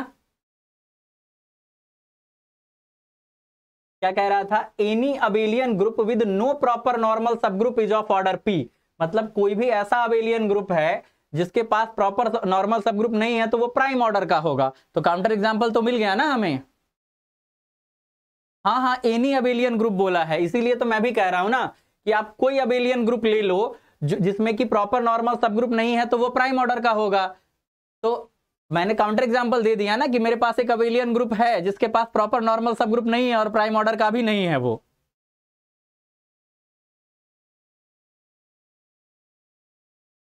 तो धोखा ऑप्शन ए में था। चलिए, अब फिर बाकी ऑप्शंस पे आते हैं। बाकी भी ठीक ठाक ऑप्शंस ही हैं। अब there exist infinite group with no proper normal subgroup देखिए infinite group with no proper normal subgroup बोलकर ये क्या पूछना चाह रहा है कि क्या मेरे पास एक इनफाइनाइट ग्रुप है जो कि सिंपल है? क्योंकि अगर नो प्रॉपर नॉर्मल सब ग्रुप है तो सिंपल की ही तो बात कर रहा है ना? तो सिंपल सी बात है, अगर आपको लगता है या आपने पढ़ा है कि ऐसा कोई इनफाइनाइट ग्रुप है जो सिंपल है तो फिर ठीक है, वो यहाँ पे एग्ज़ाम्पल बनेगा। देयर एग्जिस्ट पूछ रहा है, एक भी मिल गया तो काम चल जाएगा अपना। और अगर ऐसा कोई इनफाइनाइट ग्रुप नहीं है जो सिंपल है तो फिर ये ऑप्शन गलत हो जाएगा। तो अपार्ट फ्रॉम दिस क्वेश्चन हमारा क्वेश्चन क्या है कि क्या आप ऐसे किसी ग्रुप के बारे में जानते हैं जो इनफाइनाइट ऑर्डर का है और वो सिंपल ग्रुप है?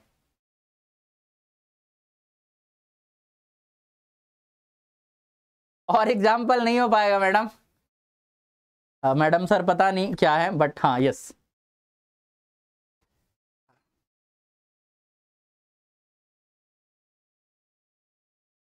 क्योंकि हम अबेलियन ग्रुप ले रहे हैं ना तो अबेलियन ग्रुप में क्या होता है कि लेग्रांज थ्योरम का कन्वर्स ट्रू हो जाता है, ठीक है? लेग्रांज थ्योरम क्या कहता है कि सब ग्रुप का ऑर्डर ग्रुप के ऑर्डर को डिवाइड करेगा और लेग्रांज साहब का कन्वर्स क्या हो जाएगा? कि अगर कोई नंबर ग्रुप के ऑर्डर को डिवाइड करता है तो उस ऑर्डर का सब ग्रुप मिल जाएगा। ठीक है? तो फाइनाइट अबेलियन ग्रुप के लिए जो है आ, आपका लेग्रांज का कन्वर्स जो है वो हमेशा ट्रू हो जाएगा।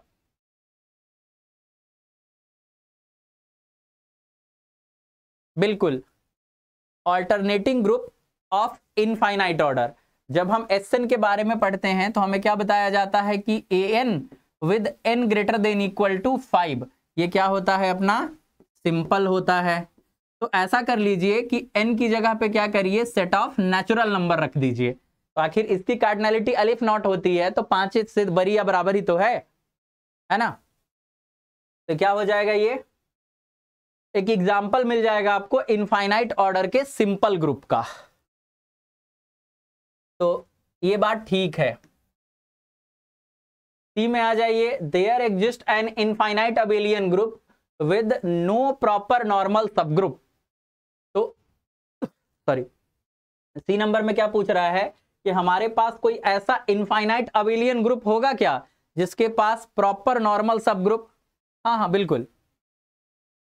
जिसके पास प्रॉपर नॉर्मल सब ग्रुप नहीं होगा। तो देखिए अगर ग्रुप मेरा क्या है? इनफाइनाइट है, ठीक है? तो इनफाइनाइट है तो बेचारा क्या होगा? या तो साइक्लिक होगा या फिर नॉन साइक्लिक होगा, यही होगा ना? और ग्रुप अगर इनफाइनाइट साइक्लिक है तो आइसोमॉर्फिक टू जेड प्लस होगा। तो M not equal to zero और प्लस माइनस वन एम को अगर मैं ज़ीरो नहीं लूँगा और प्लस माइनस वन नहीं लूँगा तो फिर एम जेड क्या हो जाएगा? सब ग्रुप हो जाएगा जेड प्लस का। और कैसा सब ग्रुप होगा ये? प्रॉपर सब ग्रुप होगा। और अबिलियन ग्रुप के सारे सब ग्रुप नॉर्मल होते हैं तो ये एमजेड भी नॉर्मल सब ग्रुप होगा। और कैसा नॉर्मल होगा? प्रॉपर नॉर्मल होगा। अगर जी हमारा साइक्लिक हुआ इनफाइनाइट में तो मेरे पास प्रॉपर नॉर्मल सब ग्रुप मिल जाएगा। और अगर ग्रुप मेरा नॉन साइक्लिक है तो that imply for every a belongs to G generating set of a जो है हमारे पास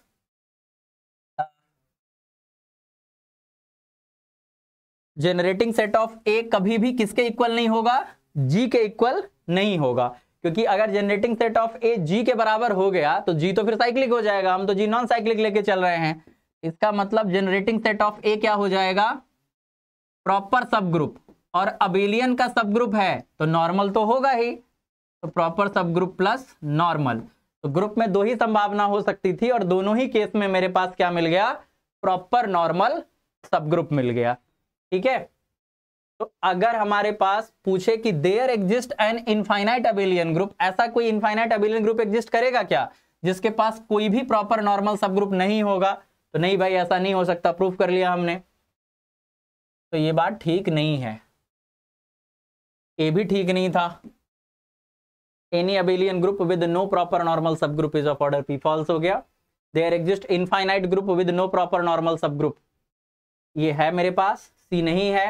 अब डी में every infinite group has proper subgroup her infinite group के पास क्या होगा? प्रॉपर सब ग्रुप होगा.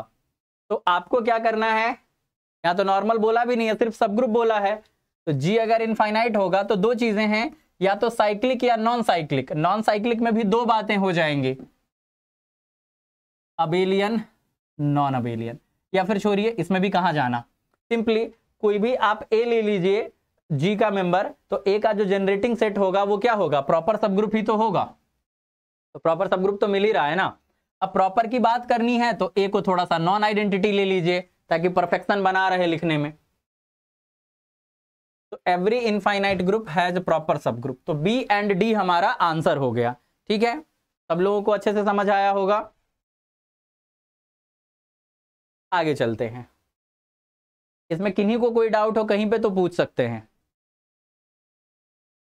और एक स्टूडेंट थी तौबा नाज हाँ तो वो है कि आ, अगर जडवन के अलावे कोई चाहिए तो वो आपको अबेलियन के केस में नहीं मिल पाएगा ना? लगरांज का कन्वर्स ट्रू हो जाएगा वहाँ पे। हाँ जी। अब ग्रुप अपना क्या है? डीएन है। ऑर्डर ऑफ़ डीएन क्या है अपना? टू एन है। ठीक है? तो एच जो है, वो अल्फ़ा से जनरेट किया हुआ सब ग्रुप है। मतलब अल्फ़ा डीएन का कोई मेंबर है। देखिए हर टीचर के पढ़ाने का अपना तरीका होता है। जब मैं डी एन एक्सप्लेन करता हूँ तो कुछ इस तरीके से करता हूँ। Alpha alpha square alpha to the power N equal to identity beta alpha beta alpha square beta dot dot dot alpha to the power N minus one dot beta ठीक है? ये सारे अपने रोटेशन हैं, और इधर वाले ये सारे रिफ्लेक्शन हैं। ठीक है? तो ये हमारा डी एन है। अब यहाँ पे एच जो है, वो अल्फ़ा से जनरेट किया हुआ है, और अब इस अल्फ़ा को, इस अल्फ़ा से आप डायरेक्टली रिलेट मत करिएगा। यहाँ पे कुछ दिया हुआ है इंफॉर्मेशन उसके माध्यम से समझने की कोशिश करिएगा। कि जी अगर इक्वल है डीएन के और एच हमारा जनरेटेड बाय अल्फ़ा है where alpha is the rotation through two pi upon N मतलब अल्फ़ा जो है, वो रोटेशन को रिप्रेजेंट कर रहा है। रोटेशन कैसे कर रहे हैं हम? टू पाई अपॉन एन से कर रहे हैं। फॉर एग्ज़ाम्पल एन की वैल्यू अगर मैं फोर ले लेता थोड़ी देर के लिए तो rotation two pi upon four मतलब पाई बाई टू मतलब नब्बे डिग्री से हम रोटेट कर रहे होते। ठीक है? तो अब बताना है इस तरीके का स्टैंडर्ड तरीका है लिखने का क्या? Index of H in G ये लिखने का तरीका होता है कि एच का इंडेक्स जी में क्या है? टू है। एच जी में नॉर्मल है। एच साइक्लिक सब ग्रुप है। एन ऑर्डर का। H is not normal in G ये सब बातें कही गई हैं इसके बारे में। तब आपको बताना है कि इसमें से कौन सा ट्रू है।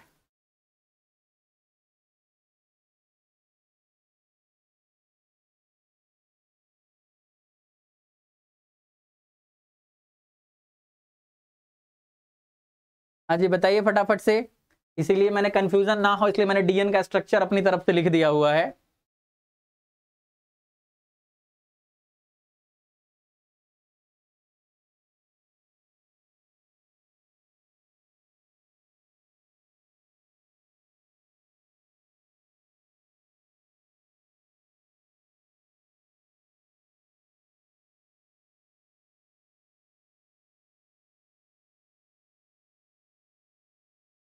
क्या होगा answer? Ritu A Deepak A and B बाकी लोग भी बताइए फटाफट से आंसर। फिर एक्सप्लेन करता हूँ मैं इसको। आ, Nikhil M J A B C okay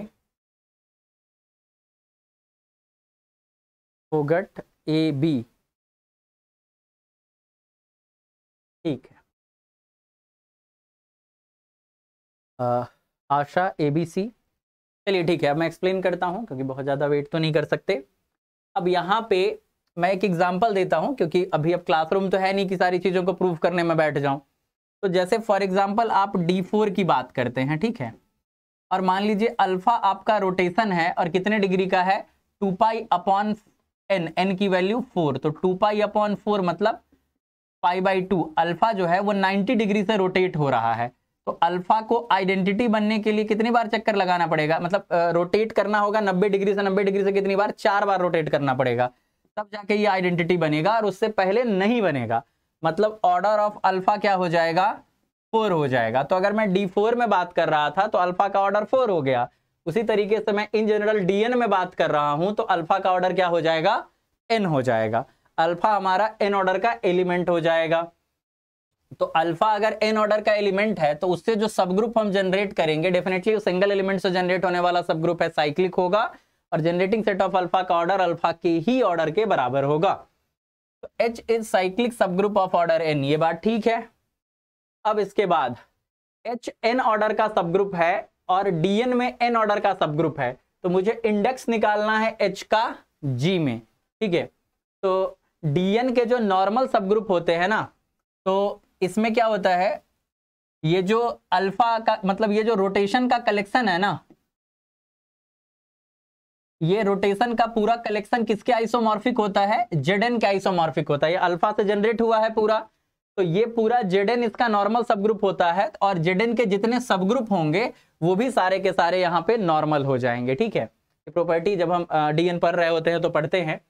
तो एच हमारा नॉर्मल सब ग्रुप है एन ऑर्डर का और जी हमारा टू एन ऑर्डर का ग्रुप है। तो इंडेक्स ऑब्वियसली क्या हो जाएगा? टू हो जाएगा। एच नॉर्मल होगा। तो इसको नॉर्मल सब ग्रुप हम प्रूव भी करते हैं और वैसे एक रिज़ल्ट भी यूज़ करते हैं। किसी सब ग्रुप का इंडेक्स अगर टू है तो वो हमेशा नॉर्मल होता है।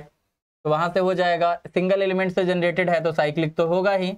नॉट नॉर्मल फॉल्स हो जाएगा। तो ए बी सी आंसर है। इवन कुछ स्टूडेंट्स अनूप और नमन ने ए बी सी आंसर किया भी है। आ, आशा का भी ए बी सी है। आ, अंतिमा ए बी सी और जिनका बी सी था वो चेक कर लेंगे। प्रिंसी बाजपेयी एबीसी ओके ठीक है। चलते हैं नेक्स्ट क्वेश्चन पे। सब, समझ में आया होगा सब लोगों के? अब इस क्वेश्चन को देखते हैं कि let G be a group such that it has exactly one proper subgroup then choose the incorrect let let g be a group such that it has exactly one proper subgroup, then choose the incorrect.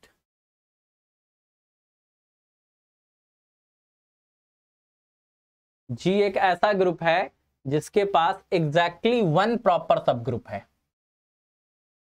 तो हमें incorrect choose करना है। ये अच्छा question है special question है, आपको answer बताना है इसका।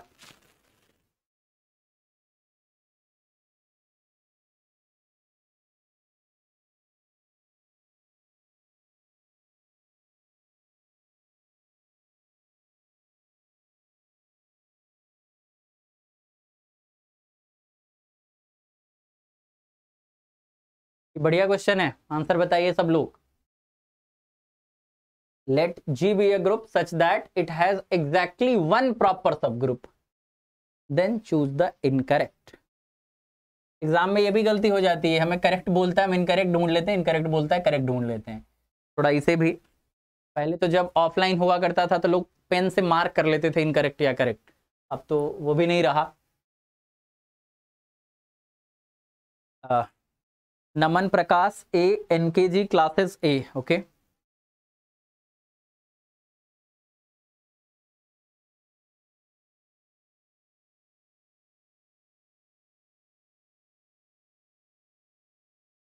आने देते हैं। आधा मिनट तो वेट कर ही सकते हैं। Ritu B Deepak D okay Princy A चलिए, कुछ लोगों के आंसर आ गए हैं, बाकी लोग भी कमेंट में आंसर करते रहेंगे, मैं इधर एक्सप्लेनेशन स्टार्ट करता हूँ, ठीक है? जी, कोई भी ग्रुप है, फ़िलहाल हमें नहीं पता ये कैसा ग्रुप है तो ये क्या हो सकता है? ये एक फाइनाइट ग्रुप हो सकता है, ये एक इनफाइनाइट ग्रुप हो सकता है, ठीक है?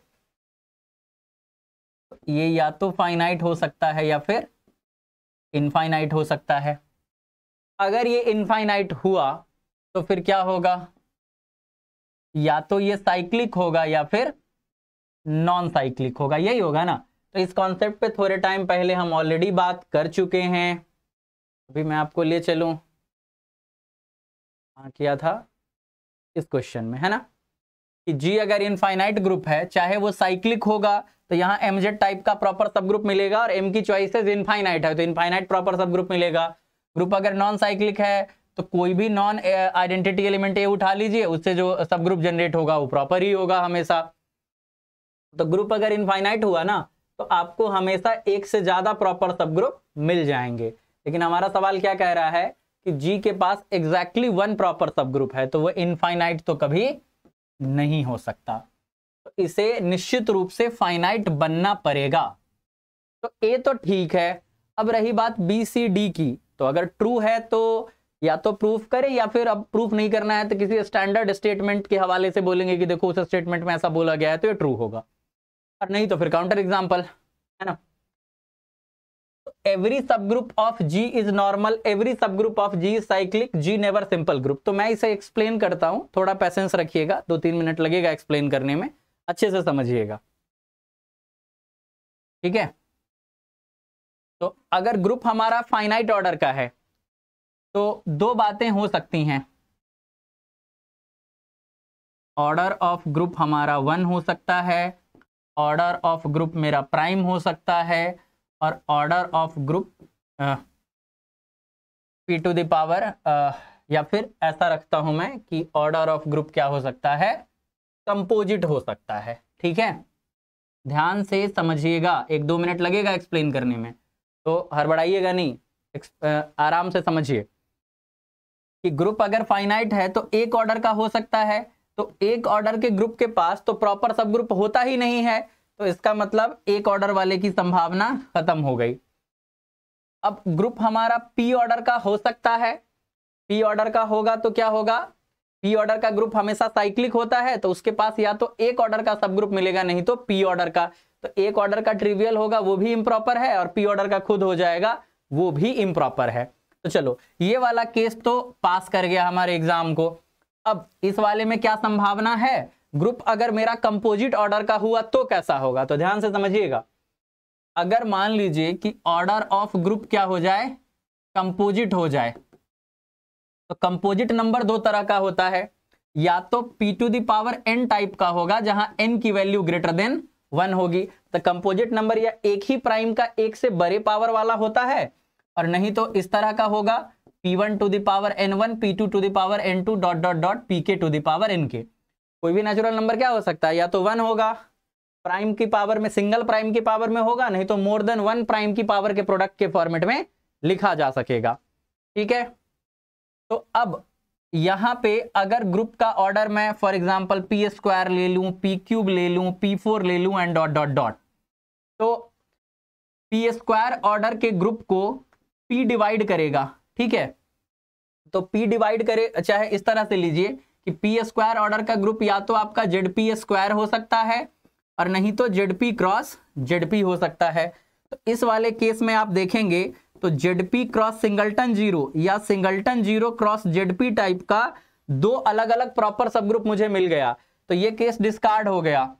अब पी क्यूब ऑर्डर में या पी फोर ऑर्डर में या आगे बढ़ेंगे ना तो यहाँ पे आप पाएँगे कि जो क्लास इक्वेशन आप लिखेंगे तो उस क्लास इक्वेशन में जो नॉर्मलाइजर, क्लास इक्वेशन के हेल्प से जो नॉर्मलाइजर आप डिफरेंट एलिमेंट का फाइंड करेंगे, उस नॉर्मलाइजर का ऑर्डर जो है, वो पी स्क्वायर ऑर्डर का हो रहा होगा पी क्यू वाले में पी फोर ऑर्डर के ग्रुप के नॉर्मलाइजर के बारे में बात करेंगे तो वहाँ पर कुछ और हो रहा होगा, ठीक है? तो इन सब में आपको कॉन्ट्राडिक्शन मिलता चला जाएगा। तो सिंगल प्राइम की पावर वाला तो लेना नहीं है और सिंगल प्राइम की पावर अगर नहीं लेंगे तो फिर मोर देन वन प्राइम के पावर के प्रोडक्ट में जाएँगे। तो यहाँ पे फिर P1 डिवाइड कर रहा है ऑर्डर ऑफ़ ग्रुप के तो P1 ऑर्डर का सब ग्रुप मिलेगा P2 डिवाइड कर रहा है ऑर्डर ऑफ़ ग्रुप को तो P2 ऑर्डर का सब ग्रुप मिलेगा। तो more than one proper subgroup आपको मिलेगा। ठीक है?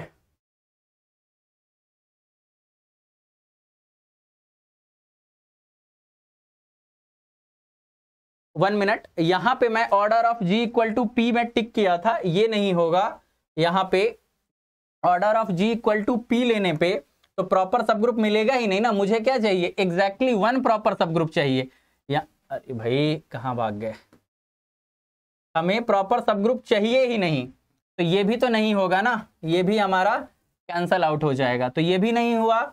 आगे आते हैं। तो जेड पी स्क्वायर क्योंकि पी स्क्वायर ऑर्डर का जो ग्रुप होता है, वो हमेशा क्या होता है? अबेलियन ग्रुप होता है। तो या तो साइक्लिक अबेलियन होगा या non cyclic abelian non cyclic abelian होगा तो दो प्रॉपर सब ग्रुप मिल जाएँगे कॉन्ट्राडिक्शन आगे नॉर्मलाइजर एलिमेंट के जो बनेंगे ना, उससे मेरा कॉन्ट्राडिक्शन आता चला जाएगा। और इधर वाले में दो डिस्टिंग प्राइम की वजह से कॉन्ट्राडिक्शन आएगा। तो एक पॉसिबिलिटी बची मेरे पास जेडपी स्क्वायर अब जेडपी स्क्वायर में एक ऑर्डर का पी ऑर्डर का और पी स्क्वायर ऑर्डर का। तो पी स्क्वायर ऑर्डर का खुद है, एक ऑर्डर का इम्प्रॉपर ही होता है और पी ऑर्डर का सब ग्रुप कितना मिलेगा? तो साइक्लिक ग्रुप में किसी भी डिवाइजर के ऑर्डर का सब ग्रुप मिलता है और एग्जैक्टली exactly वन मिलता है। तो हमारा जो ग्रुप बना, वो क्या बना? जेडपी स्क्वायर बना। कितना खूबसूरत क्वेश्चन था ये। कि हमने सारे कंडीशन को डिस्कार्ड कर लिया इनफाइनाइट में भी, सारे फाइनाइट में भी, सबको डिस्कार्ड करते करते अपने पास बचा जेडपी स्क्वायर तो फाइनाइट ऑर्डर में जेडपी स्क्वायर मतलब पी स्क्वायर ऑर्डर का जो साइक्लिक ग्रुप होगा ना वही एक वेराइटी होगी जिसके पास एग्जैक्टली वन प्रॉपर सब ग्रुप होगा। तो आप देख पा रहे हैं ये क्या है? साइक्लिक है। तो अब ग्रुप तो हमारा साइक्लिक है तो उसके सारे सब ग्रुप साइक्लिक भी होंगे और नॉर्मल भी होंगे, क्योंकि वो अबेलियन है। साइक्लिक के सारे सब ग्रुप साइक्लिक से ये वाला ट्रू हो जाएगा और अबेलियन के सारे सब ग्रुप नॉर्मल से वहाँ से ये वाला ट्रू हो जाएगा। और जी नेवर सिंपल ग्रुप तो ज़ाहिर सी बात है ना, आपको एक प्रॉपर सब ग्रुप मिल गया और ग्रुप अबेलियन है मतलब प्रॉपर नॉर्मल सब ग्रुप मिल गया तो ग्रुप सिंपल कैसे होगा? किरण प्रजापति, नमस्ते। क्लियर है सब लोगों को? तो अपना आंसर क्या हुआ? ए बी सी इन्हीं को कोई डाउट इन्हीं को कोई डाउट नहीं होना चाहिए, है ना?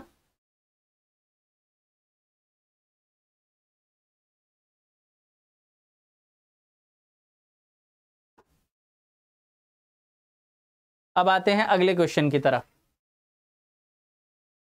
Which of the following is are possible which of the following is are possible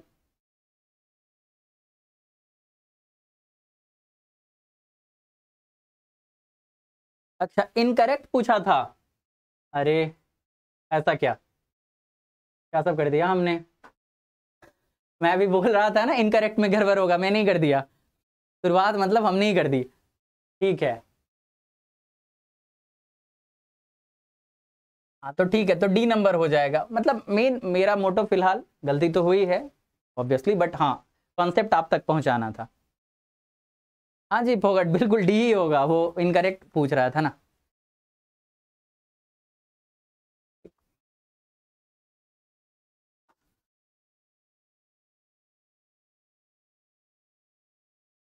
अब आते हैं इस क्वेश्चन पे।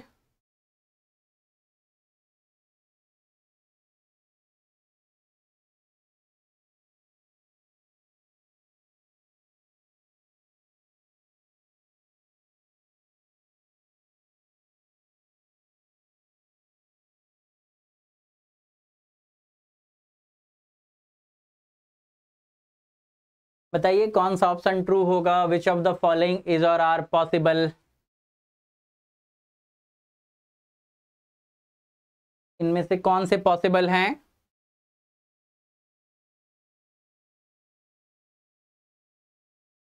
प्रिंसी कह रहे हैं, डी नहीं होगा। तो डी ही तो इनकरेक्ट है तो वही होगा ना इनकरेक्ट पूछा है। एक तो मैंने पहले करेक्ट वाले को टिक कर दिया।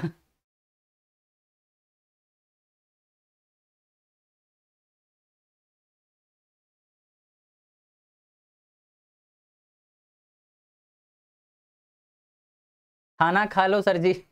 हाँ खाएँगे ना, बिल्कुल बिल्कुल। एटलीस्ट आप लोगों के लिए जो क्वेश्चंस लेकर आए हैं, वो करवा के फिर खाते हैं। आप लोग भी चलिएगा खाना खाने के लिए, हम भी खाएँगे। फ़िलहाल पानी से काम चलाते हैं। पानी अभी है।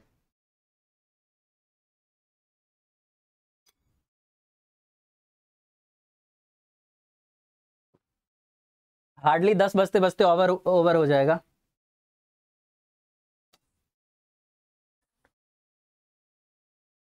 एक मिनट, अभी क्या सब कह रहे हैं आप लोग?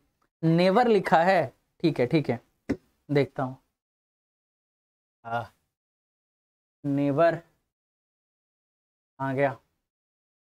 Let G be a group such that it has exactly one proper subgroup then choose the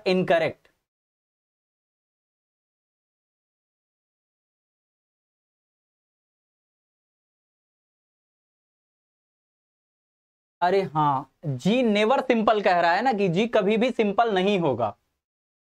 तो अगर जी कभी भी तो हमारा ग्रुप क्या मिला है? जेड पी स्क्वायर मिला है तो वो तो सिंपल नहीं है ना? तो मतलब वो बात भी ठीक है। हाँ जी, सही नेवर पे तो ध्यान ही नहीं गया। बताया भी नहीं आप लोगों ने। तो ये बात भी तो ठीक है। मतलब ये इनको ही हटा दो फिर हाँ? ये इनको हटा दो। करेक्ट ढूंढना है हमें हाँ? क्योंकि अभी तो फाइनाइट होगा ये हमने प्रूफ कर ही लिया। और साइक्लिक होगा तो उसके हिसाब से बी और सी भी ट्रू हो गए। और नेवर सिंपल ये बात भी ठीक है। प्रॉपर सब ग्रुप मिलेगा नॉर्मल मिलेगा तो कभी सिंपल भी नहीं होगा। तो करेक्ट ढूंढना होगा बिल्कुल। थैंक यू कहाँ? वाजपेयी जी। नेबर पे ध्यान दिलाया आपने।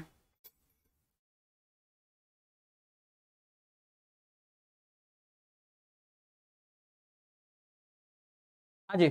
आ, अभी अगले क्वेश्चन पे आते हैं। कहाँ गया अपना क्वेश्चन ये। तो पिछले वाले में क्वेश्चन हो चुका है। कॉन्सेप्ट हमें जो समझना है वो आराम से समझ चुके हैं अब ऑप्शन में। है ना? अब which of the following is are possible there exist a group G such that G Y Z G twenty one nine twenty five one twenty five हाँ तो इसमें देखते हैं आप लोगों के कमेंट्स आ, आ, दीपक बी सी डी ठीक है?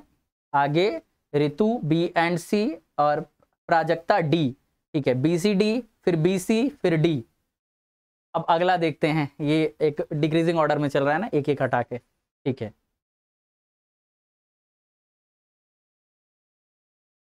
प्रिंसी सी अच्छा यहाँ पे ना देयर एग्जिस्ट अ ग्रुप पूछा है तो जहाँ पे एग्जिस्ट कर गया, वो तो ट्रू हो जाएगा। आप लोग उसको आंसर भी बता रहे होंगे ऑब्वियसली तो जहाँ पे ट्रू नहीं बता रहे हैं, वहाँ पे मन में क्या समझ रहे हैं कि ऐसा ग्रुप एग्जिस्ट ही नहीं कर रहा होगा, ऐसा?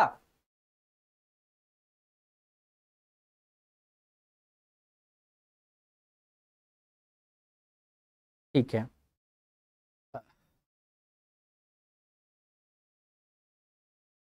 नीतू कह रहे हैं बी सी एक आधा और कमेंट आ जाने देते हैं आंसर का तो फिर मैं एक्सप्लेन करता हूँ हाँ।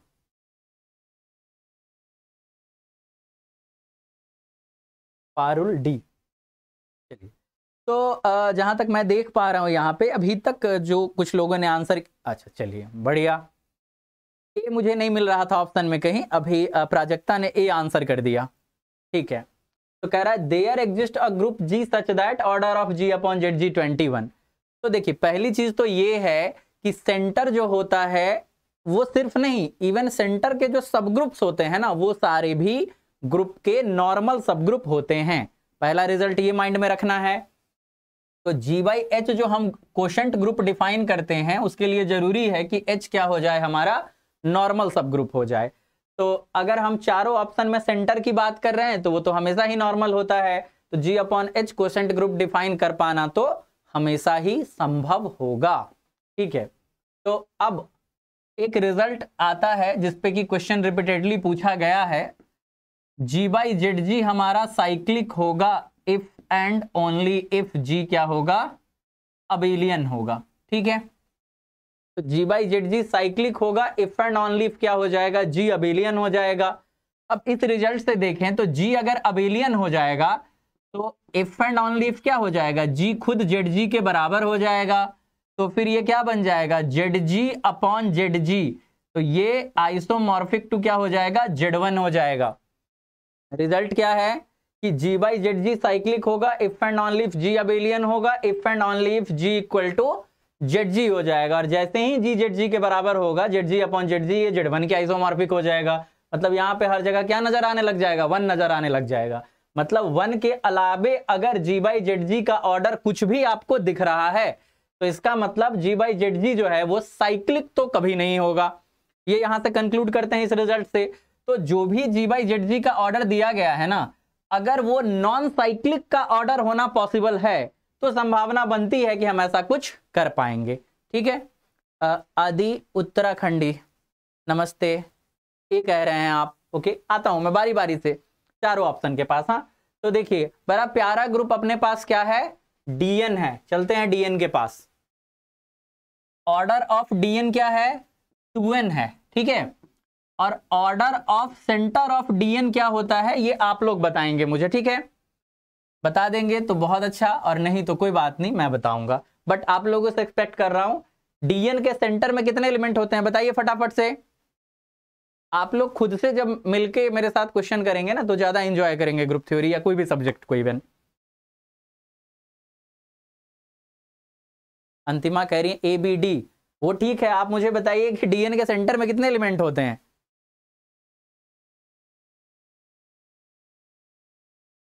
डीएन के सेंटर में डिपेंड्स ऑन एन बड़ा डिप्लोमेटिक आंसर करा आपने। चलिए एन इवन हो जाए एन ऑड हो जाए। हाँ जी। वन इफ़ ऑड ऑड के केस में वन हो जाएगा और इवन के केस में टू हो जाएगा, है ना? हाँ नहीं तो अब आंसर बिल्कुल सही है, ठीक है?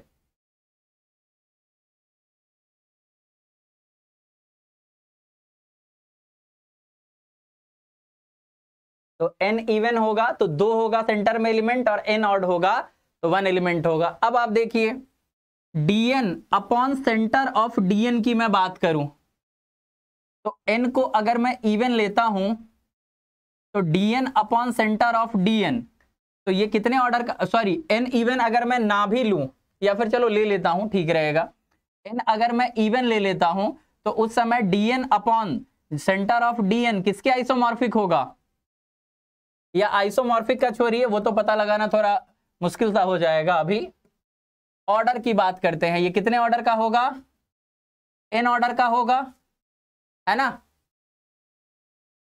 ये बात एग्री करेंगे कि नहीं आप लोग? कि इनको अगर मैं इवन ले लूँ तो DN upon centre of DN centre तो हमेशा नॉर्मल सब ग्रुप होगा। तो ये एन कार्डिनलिटी का हमेशा हो जाएगा। अब देखिए डीएन के हेल्प से क्या सब हो जाएगा? कहीं कुछ हो रहा है? मदद मिल रहा है डीएन से?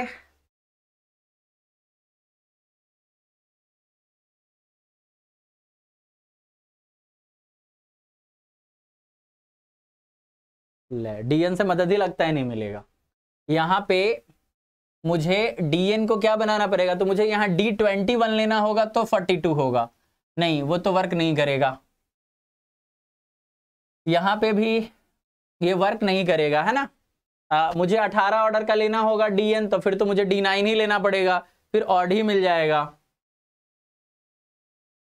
ना मज़ा नहीं आया। मतलब ठीक है एक कॉन्सेप्ट डिस्कस हो गया बट मुझे ऊपर ऊपर से लगा कि शायद वो लग जाएगा, वो नहीं लगा, कोई बात नहीं। ऑप्शन फोर इज़ करेक्ट ठीक है। फोर के लिए तो चल जाएगा अपना काम, इसमें कोई दिक्कत नहीं है। जी बाई जेड जी अपना 125 ऑर्डर का है। तो जी बाई जेड जी अगर मेरे पास 125 ऑर्डर का है तो सेंटर कितने ऑर्डर का होना चाहिए हमारे पास? एक मतलब चार में से किसी एक ऑप्शन में तो एग्ज़ाम्पल कंस्ट्रक्ट करके दिखाऊँगा ना। तभी तो बोलूँगा कि चलो बाकियों में भी इस तरीके से होगा। तो करता हूँ किसी एक में कंस्ट्रक्ट हाँ। तो जी बाई जेड जी हमारा 125 ऑर्डर का अगर ले लेते हैं हम तो ये बन जाएगा।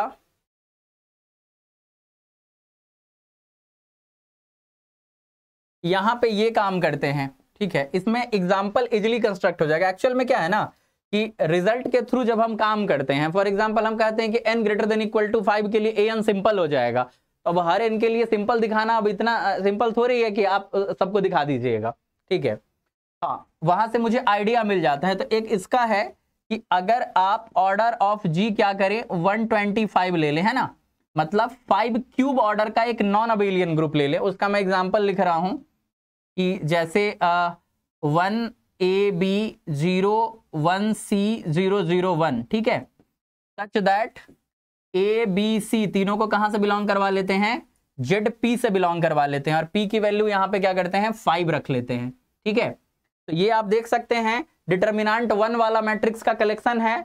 इसको सब ग्रुप किसका बना देते हैं? स्पेशल लीनियर का। एस एल और एन की वैल्यू में थ्री ले लिया हुआ है मैंने। तो S L three Z five का सब ग्रुप बना दिया मैंने इसे, ठीक है? डिटर्मिनांट वन वाला है। तो ये कितने ऑर्डर का बनेगा? ए के लिए फाइव चॉइस बी के लिए फाइव चॉइस सी के लिए फाइव चॉइस ये पी क्यूब ऑर्डर का ग्रुप बना और ये मैट्रिक्स मल्टीप्लीकेशन में नॉन अबेलियन ग्रुप बनेगा। और हमने थोड़े टाइम पहले रिज़ल्ट डिस्कस किया था कि पी क्यूब ऑर्डर का अगर कोई नॉन अबेलियन ग्रुप होता है तो उसके सेंटर में एग्जैक्टली पी एलिमेंट होते हैं। तो 125 अपॉन फाइव कितना बन जाएगा? 25 तो इसका एग्ज़ाम्पल कंस्ट्रक्ट हो गया। अब बाकी का एग्ज़ाम्पल ट्राई करिएगा ढूँढने का। एक्चुअल में हमें क्या देखना है कि G by Z G cyclic ना होने पाए। तो मतलब जी बाई जेड जी का वैसा ऑर्डर जिसमें कि सिर्फ़ साइक्लिक की संभावना नहीं है। नॉन अबेलियन या अबेलियन की संभावना बनी हुई है तो वहाँ पॉसिबिलिटी हो जाती है, ठीक है? तो ये 21 ऑर्डर का है हमारे पास। तो 21 ऑर्डर का नॉन अबेलियन ग्रुप एग्जिस्ट करेगा, है ना? P इंटू क्यू ऑर्डर का ग्रुप होता है, और अगर P डिवाइड करता है Q माइनस वन को तो P तो ग्रुप दो ही वेराइटी का हो सकता है, या तो साइक्लिक होगा या नॉन अबेलियन होगा। तो जो भी नॉन अबेलियन बनता है, उस वाले सेगमेंट से यहाँ पे हो जाएगा। ठीक है? और यहाँ पे हमारा अबेलियन बन रहा है। साइक्लिक नाइन ऑर्डर का तो साइक्लिक अबेलियन दोनों ही पॉसिबिलिटी है। तो यहाँ भी संभव है और यहाँ भी संभव है। ठीक है? डी के लिए क्या कह रहे हैं? डी दो सौ दो सौ पचास। हाँ देखिए, काम हो गया। चलो बढ़िया हुआ, एक एग्ज़ाम्पल लिखा, कहीं तो काम आया। ठीक है तो जी अपना क्या हो जाएगा, डी दो सौ पचास। बिल्कुल बढ़िया। कौन कमेंट कर रहे हैं? विजय शर्मा, बहुत बढ़िया। हाँ सी के लिए भी डी पचास ले सकते थे, बिल्कुल। मैंने कोई दूसरा ले लिया। तो पहले दूसरे में डी वाला लगा नहीं ना तो मुझे लगा यार कुछ और देख लेते हैं।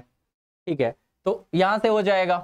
तो बाकी भी जो बेसिकली ये तो चलो हम लोग एक्स्ट्रा एनालिसिस कर रहे हैं कि ये वाला मिल जाएगा, ये वाला मिल जाएगा। काम हमारा वही हो चुका था कि G by Z G cyclic होगा तो प्रॉब्लम आ जाएगा कि जी बाई जेड जी हमेशा वन ऑर्डर का होगा, ठीक है? अदरवाइज़ अगर नॉन अबेलियन या नॉन अबेलियन या सिर्फ़ अबेलियन मतलब वैसा अबेलियन जो साइक्लिक नहीं है, वो अगर ऑर्डर का पॉसिबिलिटी है तो सब पॉसिबल है अपना, ठीक है?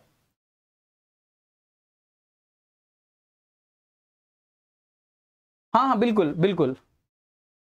उसी को यूज़ में ले रहे हैं। तो सारे यहाँ पे पॉसिबल हो जाएँगे, ठीक है? बाकी का ऐसे ही ट्राई करके ढूंढिएगा, इधर भी कुछ ना कुछ मिल जाएगा आपको।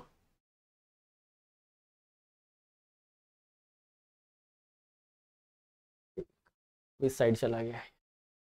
कोई दिक्कत नहीं होगा इसमें, किन्हीं को होगा तो वो पूछ सकते हैं, ठीक है?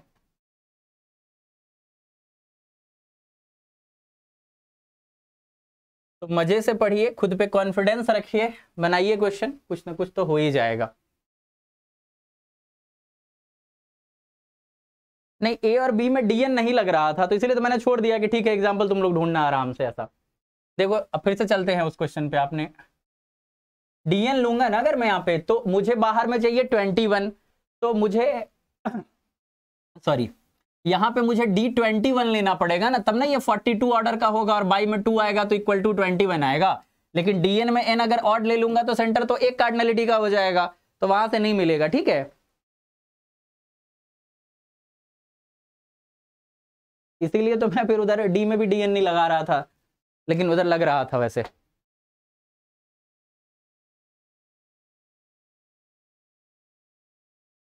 चलिए। क्वेश्चंस पे आते हैं।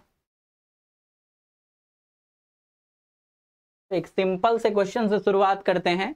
जस्ट अगर आपको होमोमॉर्फिज्म का डेफिनेशन आता है तो आप इस क्वेश्चन को कर सकते हैं। तो जी क्या है अपने पास? एक नॉन अबेलियन ग्रुप है।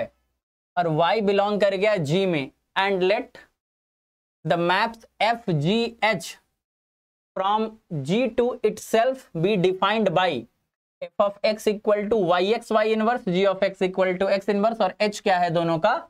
कंपोजिशन है। तो फिर पूछ, अभी ये जस्ट एक फ़ंक्शन है ना? F of X equal to Y X Y inverse just एक फ़ंक्शन है।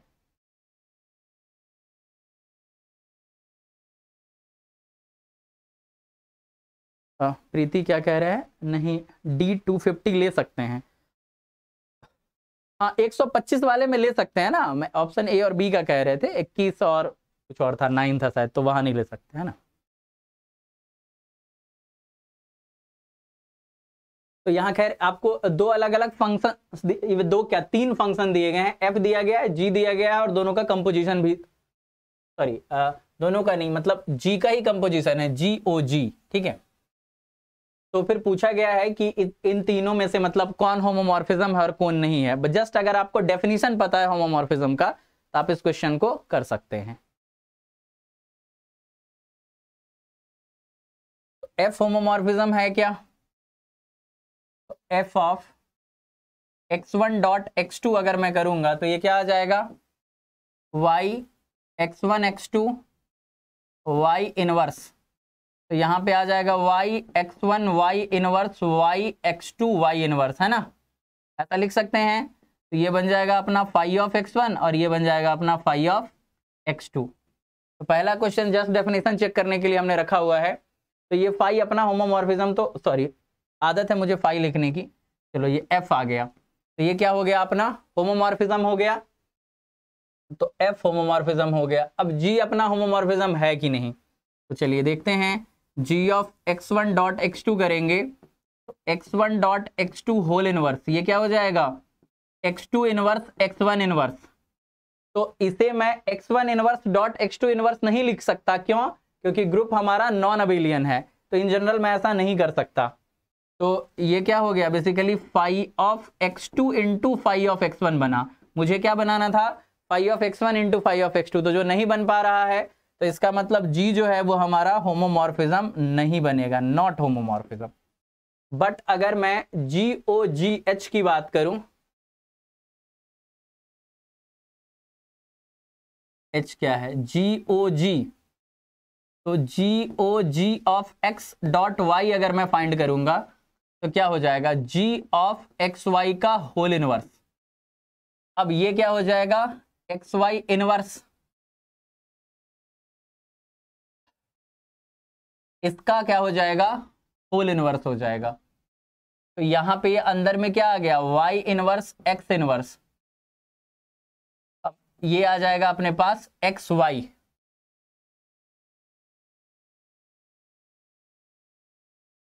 अब यहाँ से मुझे G O G of X Y क्या मिल गया मुझे? एक्स वाई मिल गया।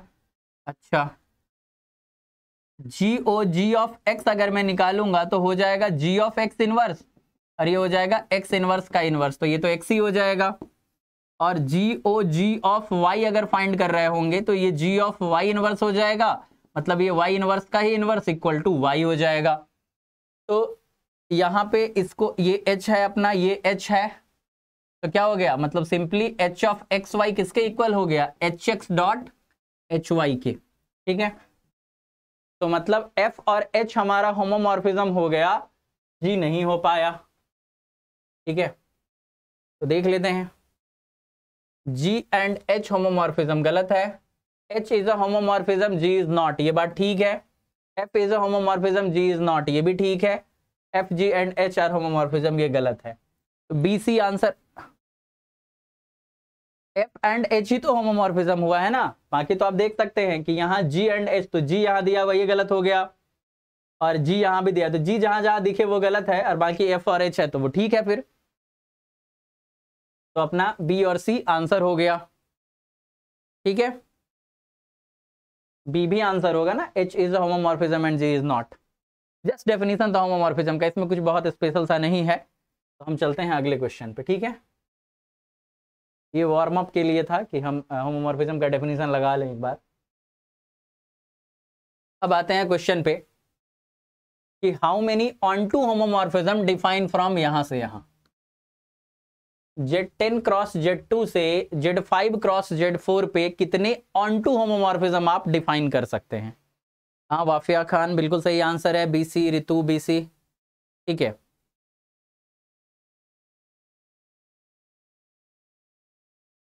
How many onto homomorphism from Z10 cross Z2 to Z5 cross Z4?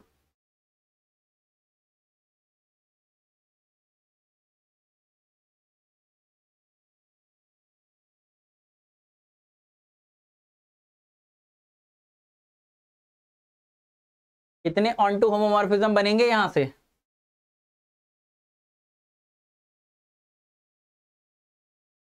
हाँ बिल्कुल जी कंपोज जी आइडेंटिटी हो रहा था क्योंकि एक्स वाई पुट किया था हमने एक्स वाई ही निकल कर आ गया था।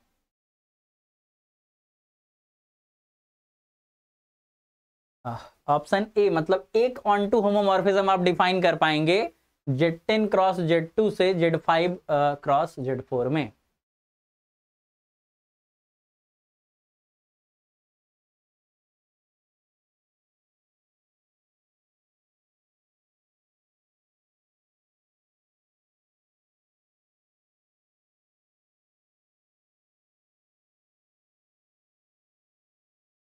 यहाँ पे हमें पता करना है ऑन टू होमोमॉर्फिज्म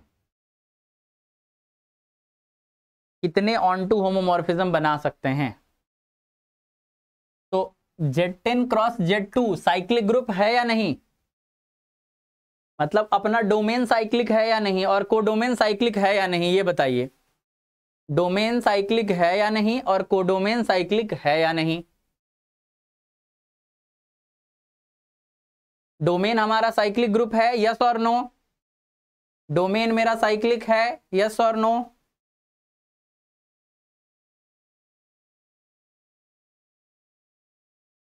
को डोमेन साइक्लिक है, बिल्कुल, डोमेन साइक्लिक नहीं है। तो अब देखिए को डोमेन अगर मेरा साइक्लिक है तो और डोमेन साइक्लिक नहीं है, बहुत बढ़िया।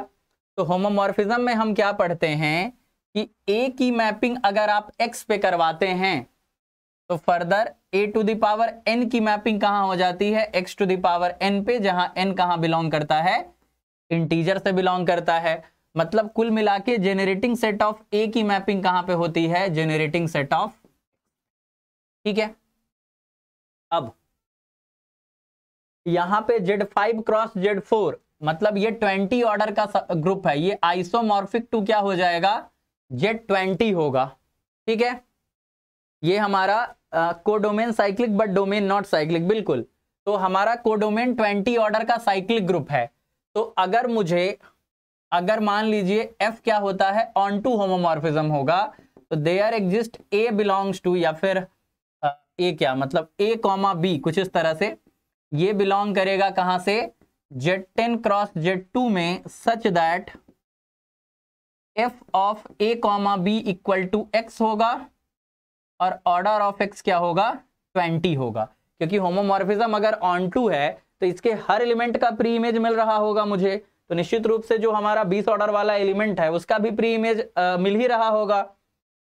एंड हम और एक रिज़ल्ट क्या पढ़ते हैं कि ए की मैपिंग एक्स पे हो और ऑर्डर ऑफ़ ए अगर मेरा फाइनाइट होता है तो ये इस बात को इंप्लाई करता है कि ऑर्डर ऑफ़ एक्स डिवाइड करेगा ऑर्डर ऑफ़ ए को। ठीक है? And order of X divide करेगा order of A comma B को। ठीक है? तो एक्स का ऑर्डर ट्वेंटी है। तो ट्वेंटी डिवाइड करेगा order of A comma B को। इसका मतलब order of A comma B जो है, वो क्या हो जाएगा? ग्रेटर देन और इक्वल टू ट्वेंटी हो जाएगा। तो Z ten cross Z two में ट्वेंटी ऑर्डर या फिर उससे बड़े ऑर्डर का एलिमेंट है क्या? बिल्कुल नहीं है। क्योंकि ये 20 ऑर्डर का ग्रुप है, अगर इसमें 20 ऑर्डर का एलिमेंट मिल गया तो वो तो ग्रुप ही साइक्लिक हो जाएगा ना। एन ऑर्डर के फाइनाइट ग्रुप में अगर एन ऑर्डर का एलिमेंट मिल जाए तो ग्रुप तो साइक्लिक हो जाएगा। वो तो है नहीं। तो इसमें 20 ऑर्डर का एलिमेंट नहीं मिलेगा और 20 से बड़े तो बिल्कुल ही नहीं मिलने वाला। तो इसका मतलब ऐसा ऑन टू होमोमॉर्फिज्म नहीं हो सकता। इस ग्रुप से इस ग्रुप पे कभी भी आप ऑन टू होमोमॉर्फिज्म नहीं बना सकते। ठीक है? तो ज़ीरो होगा। समझ आ गया होगा सब लोगों को कि यहाँ पे हम ऑन टू होमोमॉर्फिज्म कभी डिफाइन नहीं कर पाएँगे। चलते हैं अगले क्वेश्चन पे।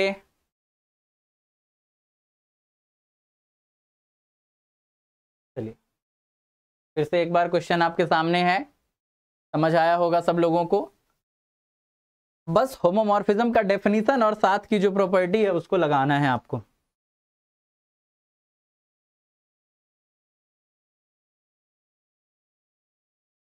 इस क्वेश्चन को पढ़िए, क्या कह रहा है? कि ग्रुप का ऑर्डर 55 है ग्रुप हमारा अबेलियन है। तो G से G पे एक मैपिंग डिफाइन की गई है। Of X is equals to X to the power seven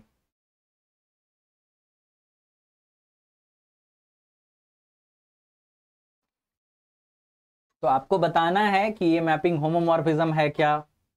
One one but not onto onto homomorphism but not one one और आइसोमॉर्फिज्म क्या है ये?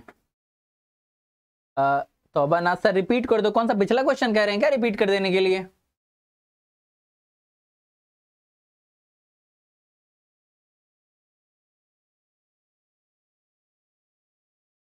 लास्ट क्वेश्चन रिपीट करने बोल रहे हैं क्या?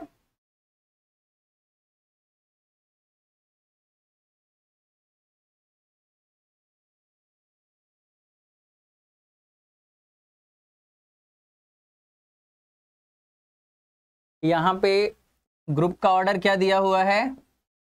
55 दिया हुआ है, ठीक है? It is cyclic and also GCD of 55 and 7 is equal to one then it is isomorphic okay okay okay बहुत बढ़िया। ऑर्डर ऑफ़ जी क्या है हमारे पास? 55 है, ठीक है? तो रिज़ल्ट क्या है कि ऑर्डर ऑफ़ जी अगर मेरा पी क्यू हो जाए P लेस देन Q हो जाए और P डिवाइड करे Q माइनस वन को। और P और Q दोनों भाई साहब क्या हैं? प्राइम है। और P डिवाइड अगर कर रहा है Q माइनस वन को तो G दो तरह का हो सकता है। या तो isomorphic to Z P Q होगा, या फिर एक नॉन अबेलियन ग्रुप बनेगा। Non abelian group of order P cube ठीक है? तो यहाँ पे हम क्या देख पा रहे हैं कि अगर पी क्यू ऑर्डर का कोई ग्रुप है, जहाँ पी और क्यू दोनों प्राइम है पी लेस देन क्यू है और पी क्यू माइनस वन को डिवाइड कर रहा है तो ग्रुप हमारा या तो सीधा साइक्लिक बनेगा और नहीं तो सीधा नॉन अबेलियन बनेगा। मतलब सीधी सी बात यह है कि अगर पी क्यू ऑर्डर के अबेलियन ग्रुप की बात की जा रही है देखिए सिर्फ़ अबेलियन बोला जा रहा है तो उससे यह पता चल गया कि नॉन अबेलियन तो होगा नहीं तो डायरेक्टली क्या हो जाएगा? वो साइक्लिक हो जाएगा। तो ग्रुप 55 ऑर्डर का दिया हुआ है और ग्रुप अबेलियन दे दिया है हमें, ठीक है? तो इसका मतलब क्या हो गया कि ग्रुप हमारा साइक्लिक है। तो अब जी बेसिकली क्या हो गया हमारा? जेड 55 हो गया। जी से जी पे हमने फ़ंक्शन डिफाइन किया फाइव तो क्या डिफाइन किया? Five of X equal to X to the power seven basically ये क्या है? जेड फिफ्टी फाइव से लेकर के जेड फिफ्टी अब यहाँ है x to the power seven तो x की मैपिंग हम कहाँ करा रहे हैं? x टू दावर सेवन पे करवा रहे हैं। ठीक है? मतलब अगर मैं साइक्लिक टू साइक्लिक की बात करूँ तो जब भी कभी आप होमोमॉर्फिज्म काउंट करते हैं डोमेन आपका साइक्लिक ग्रुप है तो आप जनरेटर का इमेज देखिए कहाँ जा रहा है। तो वन की मैपिंग कहाँ हो रही है? सेवन पे मैपिंग हो रही है। ठीक है? अब वन की मैपिंग सेवन हो रही है, और ऑर्डर ऑफ़ सेवन यहाँ पे क्या है? ऑर्डर ऑफ़ सेवन आपको निकालना है तो order of one to the power seven करिए। एक रिज़ल्ट होता है order of A to the power R is equals to order of A upon GCD of order of A and R ठीक है? तो ए क्या है हमारे पास? यहाँ ऑर्डर ऑफ़ वन वन तो जनरेटर है जेड फिफ्टी फाइव का तो वन अपना फिफ्टी फाइव ऑर्डर का एलिमेंट है तो fifty five upon GCD of order of A fifty five and seven equal to fifty five upon one ये क्या आ जाएगा? फिफ्टी फाइव तो अभी विजय शर्मा जो रिज़ल्ट बता रहे थे कि अगर हमारा ये जेड एन बन गया और एन और इस एक्स की पावर में जो क्वांटिटी रखी गई है, इन दोनों का जीसीडी वन हो जाने से ये one one onto homomorphism मतलब आइसोमॉर्फिक हो जाएगा। कैसे होगा? उसका रीजन यहाँ रखा हुआ है कि इन दोनों के जीसीडी वन हो जाने से क्या हो जाएगा? कि one to the power seven का ऑर्डर क्या हो जाएगा? फिफ्टी फाइव ही हो जाएगा।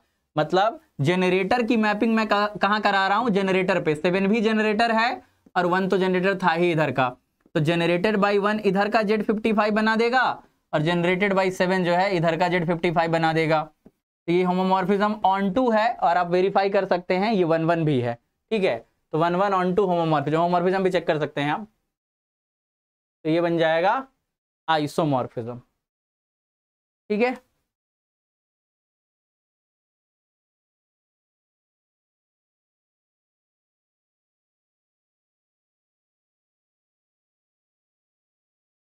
हाँ क्योंकि ये जो रिज़ल्ट देखिए, एक ही बात से तो कई बातें कही जा सकती है ना? क्या कह रहे हैं अविजय शर्मा? क्योंकि अब मैं कितनी ही बातें कहूँगा, है ना? अब जैसे हम यहाँ पे कह रहे हैं कि generated by one domain generate करेगा और इधर वन की मैपिंग फॉर एग्जांपल सेवन यहाँ पे एक्स की जगह पे है।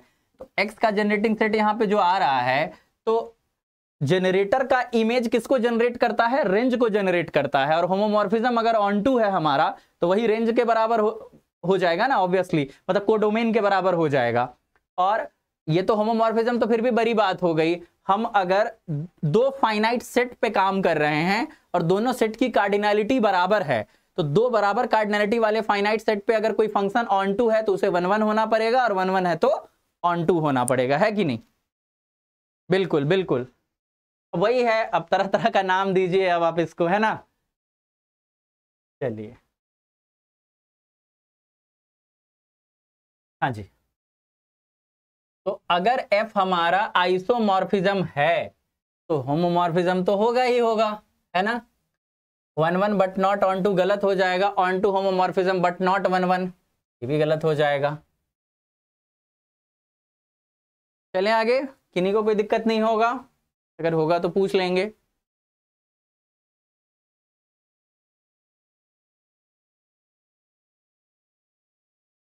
हाँ जी। अब जेड एट से जेड ट्वेल्व पे, यहाँ पे फाई कर लीजिए। जेड एट से जेड ट्वेल्व पे आ, मुझे होमोमॉर्फिज्म काउंट करनी है कुछ इस तरह से।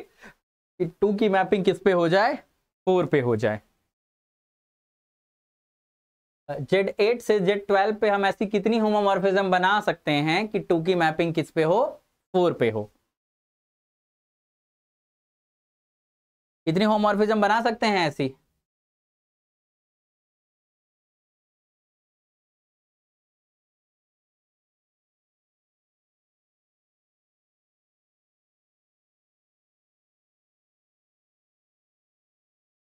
जेड एट से जेड ट्वेल्व पे ऐसी कितनी होमोमॉर्फिज्म बना सकते हैं जिसमें टू की मैपिंग फोर हो?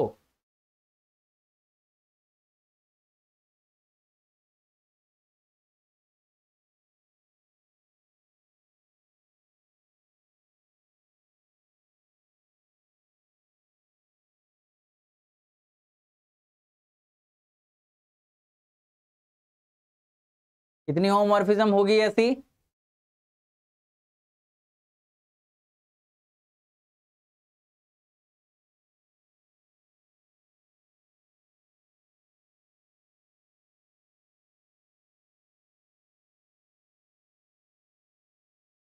सी नंबर मतलब ज़ीरो ग्रेट बाकी लोगों का अच्छा।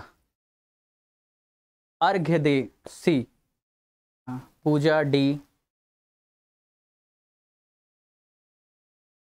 Diksha Rajput C sorry ठीक है देखते हैं। फाइव ऑफ़ टू कहाँ पे जा रहा है? फोर पे जा रहा है। होमोमॉर्फिज्म है तो ये डिस्ट्रीब्यूट होगा। Five of one plus one क्या हो जाएगा? फोर हो जाएगा। मतलब two time five of one क्या बन जाएगा? फोर बन जाएगा। तो फाइव ऑफ़ वन क्या हो जाएगा? टू हो जाएगा। ऑर्डर ऑफ़ वन क्या है अपने पास? जेड एट में। वन हमारा आठ ऑर्डर का एलिमेंट है। और ऑर्डर ऑफ़ टू क्या है? कहाँ पे? जेड ट्वेल्व में। ये हमारा सिक्स ऑर्डर का एलिमेंट है। और सिक्स एट को डिवाइड करता ही नहीं है। अगर ए की मैपिंग एक्स पे होती है ए अगर फाइनाइट ऑर्डर का एलिमेंट होता है तो एक्स के ऑर्डर को ए के ऑर्डर को डिवाइड करना पड़ता है। बट यहाँ पे हो नहीं रहा है। तो इसका मतलब क्या हो गया? कि ज़ीरो होमोमॉर्फिज्म जेड एन से जेड एम पे total number of homomorphism GCD of N M के बराबर होता है, ठीक है? वो टोटल नंबर ऑफ़ होमोमॉर्फिज्म है, उसमें हमने कोई रिस्ट्रिक्शन नहीं लगाया है। जो डिफाइन हो पाना संभव है, उसको हमने गिन लिया है। अब यहाँ पे बोला नहीं, तुम ऐसा ही डिफाइन करो। तो वैसा डिफाइन करने में तो समस्या है, हो नहीं रही है। है ना? तो ज़ीरो हो गया, ठीक है? मोस्टली लोगों का आंसर सही है, एक आध जिनका रॉन्ग हो गया है, वो चेक कर लेंगे कि कहाँ गलत हुआ। चलते हैं अगले क्वेश्चन पे। अगर आपको होमोमॉर्फिज्म का डेफिनेशन आता है ना, लगाना कैसे है डेफिनेशन तो आप कर लेंगे, ठीक है?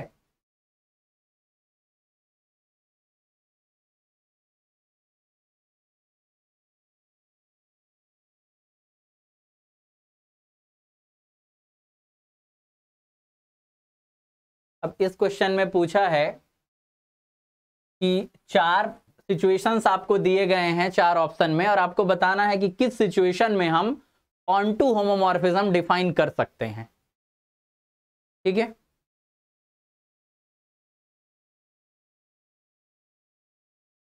चार सिचुएशन में से किस सिचुएशन में हम ऑन टू होमोमॉर्फिज्म डिफाइन कर सकते हैं? तो जब भी आप होमोमॉर्फिज्म काउंट कर रहे हो तो दो चीज़ हो सकती है।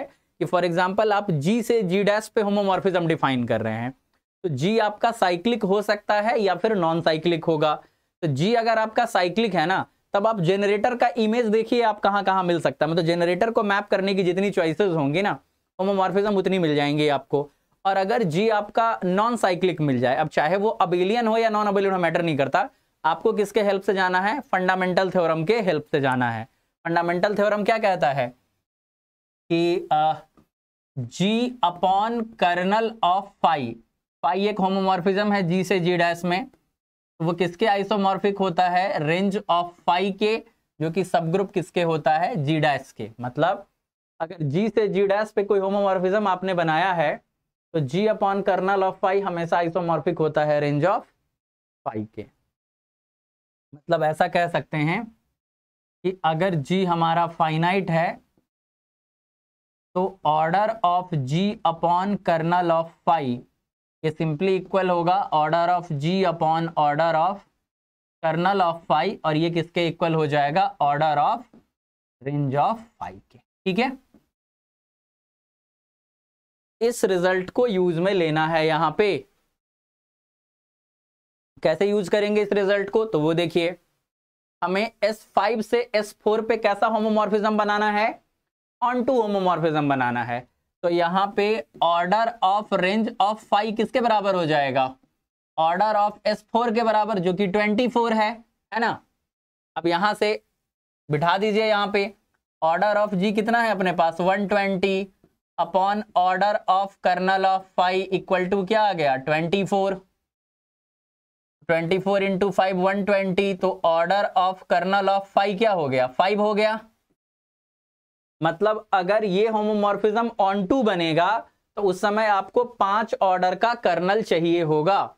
लेकिन डोमेन में S5 है। S5 के पास कितने नॉर्मल सब ग्रुप होते हैं? तीन ही होते हैं। ट्रिवियल A5 S5 तीनों में से कोई भी पाँच ऑर्डर का नहीं है, क्योंकि कर्नल कौन बनता है? नॉर्मल सब ग्रुप अब नॉर्मल सब ग्रुप का तो चॉइस ही तीन है। ये तो तीनों में से कोई पाँच ऑर्डर का है नहीं। तो ये डिस्कार्ड हो जाएगा। पूछ रहा है हमसे कि S4 से S2 में हम ऑन टू होमोमॉर्फिज्म बना सकते हैं क्या? तो S4 से S2 में अगर मुझे ऑन टू होमोमॉर्फिज्म बनाना है तो अब मैं डायरेक्टली लिख रहा हूँ, ये अपना दो ऑर्डर का है और ये कितने ऑर्डर का है? ट्वेंटी फोर ऑर्डर का है। तो कर्नल मुझे कितने ऑर्डर का चाहिए होगा? बारह ऑर्डर का। तो एस फोर के पास बारह ऑर्डर का कर्नल है ए फोर बन जाएगा वहाँ से तो ये हो जाएगा। अब यहाँ पे पाँच ऑर्डर का रेंज चाहिए तो कर्नल कितने ऑर्डर का चाहिए होगा? चौबीस ऑर्डर का। अब S5 के पास तो ये तीनों नॉर्मल सब ग्रुप होते हैं, इसमें से 24 ऑर्डर का कोई नहीं है तो ये नहीं हो पाएगा। अब S4 से Z4 में रेंज चार ऑर्डर का है तो कर्नल मुझे छह ऑर्डर का चाहिए होगा। तो S4 के पास identity isomorphic to K4 A4 और S4 यही सब नॉर्मल होता है। छह ऑर्डर का तो कोई भी नॉर्मल सब ग्रुप नहीं होता इसके पास तो ये भी डिस्कार्ड हो जाएगा। तो सिर्फ़ बी आंसर होगा। मोस्टली लोगों ने बी आंसर किया है। दीपक रामेश्वर, प्राजक्ता ऋतु आप लोगों का बी है। और जिनका ए बी है तो वो ए को देख लेंगे। ए डिस्कार्ड हो चुका है हमारा। चलते हैं अगले क्वेश्चन पे।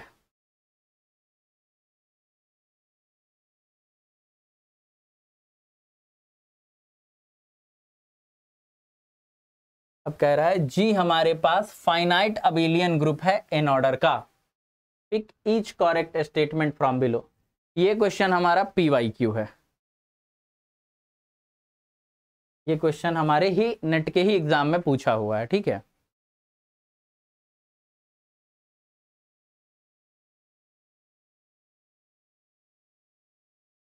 इस क्वेश्चन को सॉल्व करने के लिए सिंपल साइकोलॉजिक है कि दो दो रिज़ल्ट बेसिकली यहाँ पे लगने हैं।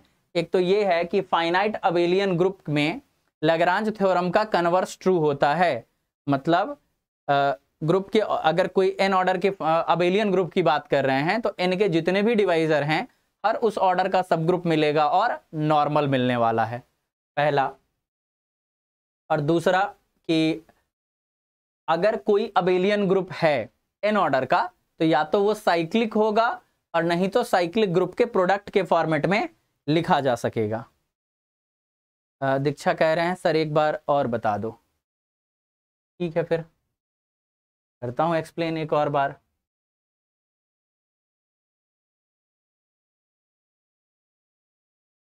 देखिए, ये जो फंडामेंटल थ्योरम है ना G upon kernel of five isomorphic to range of five जो कि सब ग्रुप किसका होता है? जी डैश का। तो अगर ग्रुप हमारा फाइनाइट ऑर्डर का होगा, तभी डिवीज़न वगैरह जैसी बातें करते हैं हम, ठीक है? थैंक यू दीपक डेफिनेटली अब एग्ज़ाम का टाइम अच्छे ही क्वेश्चन तो लेकर आएँगे ना, वरना फिर आपका टाइम क्यों खराब करना? है कि नहीं? जब आप हैं हमारे साथ तीन घंटे तो कुछ स्पेशल हो ना? आपको लगे कि कुछ सीखा है हमने इस तीन घंटे में। हाँ जी तो जी अगर हमने फाइनाइट लिया हुआ है, अगर हमने फाइनाइट ग्रुप लिया हुआ है तो फाइनाइट में ही डिवीज़न जैसी बातें होती है ना? तो order of G upon kernel of five simply order of G upon order of kernel of five के बराबर होगा, और वो इक्वल किसके होगा? रेंज के ऑर्डर के। तो क्वेश्चन में क्या बोला है ना? कि आपको जो होमोमॉर्फिज्म चाहिए, वो क्या चाहिए? ऑन टू होमोमॉर्फिज्म चाहिए। मतलब रेंज का ऑर्डर कोडोमेन के बराबर चाहिए। तो फ़िलहाल वाले केस में order of range of five किसके बराबर हो जाएगा? ऑर्डर ऑफ़ कोडोमेन के। ठीक है? Order of range of five किसके बराबर होगा? ऑर्डर ऑफ़ कोडोमेन के। तो अब सोचिए कि यहाँ पे रेंज आपका 24 ऑर्डर का है ना? वैसे तो ये कोडोमेन है, लेकिन ऑन टू बनाना है तो रेंज हो गया ये। अब रेंज आपको 24 ऑर्डर का चाहिए। और ग्रुप आपके पास 120 ऑर्डर का है। तो 120 को किससे डिवाइड करिएगा कि 24 24 आएगा। पाँच से डिवाइड करिएगा ना। तभी 24 आएगा। मतलब कर्नल आपको चाहिए पाँच ऑर्डर का। तब जाकर यहाँ से यहाँ ऑन टू होमोमॉर्फिज्म डिफाइन होगा। और कर्नल होता है हमेशा नॉर्मल सब ग्रुप अब S5 के यही तीन नॉर्मल सब ग्रुप है। इन तीनों में पाँच ऑर्डर का कोई नहीं है। तो फिर तो नहीं हो पाएगा ना ऑन टू होमोमॉर्फिज्म हाँ जी किनका था ये? दीक्षा का। दीक्षा क्लियर है कॉन्सेप्ट हाँ जी।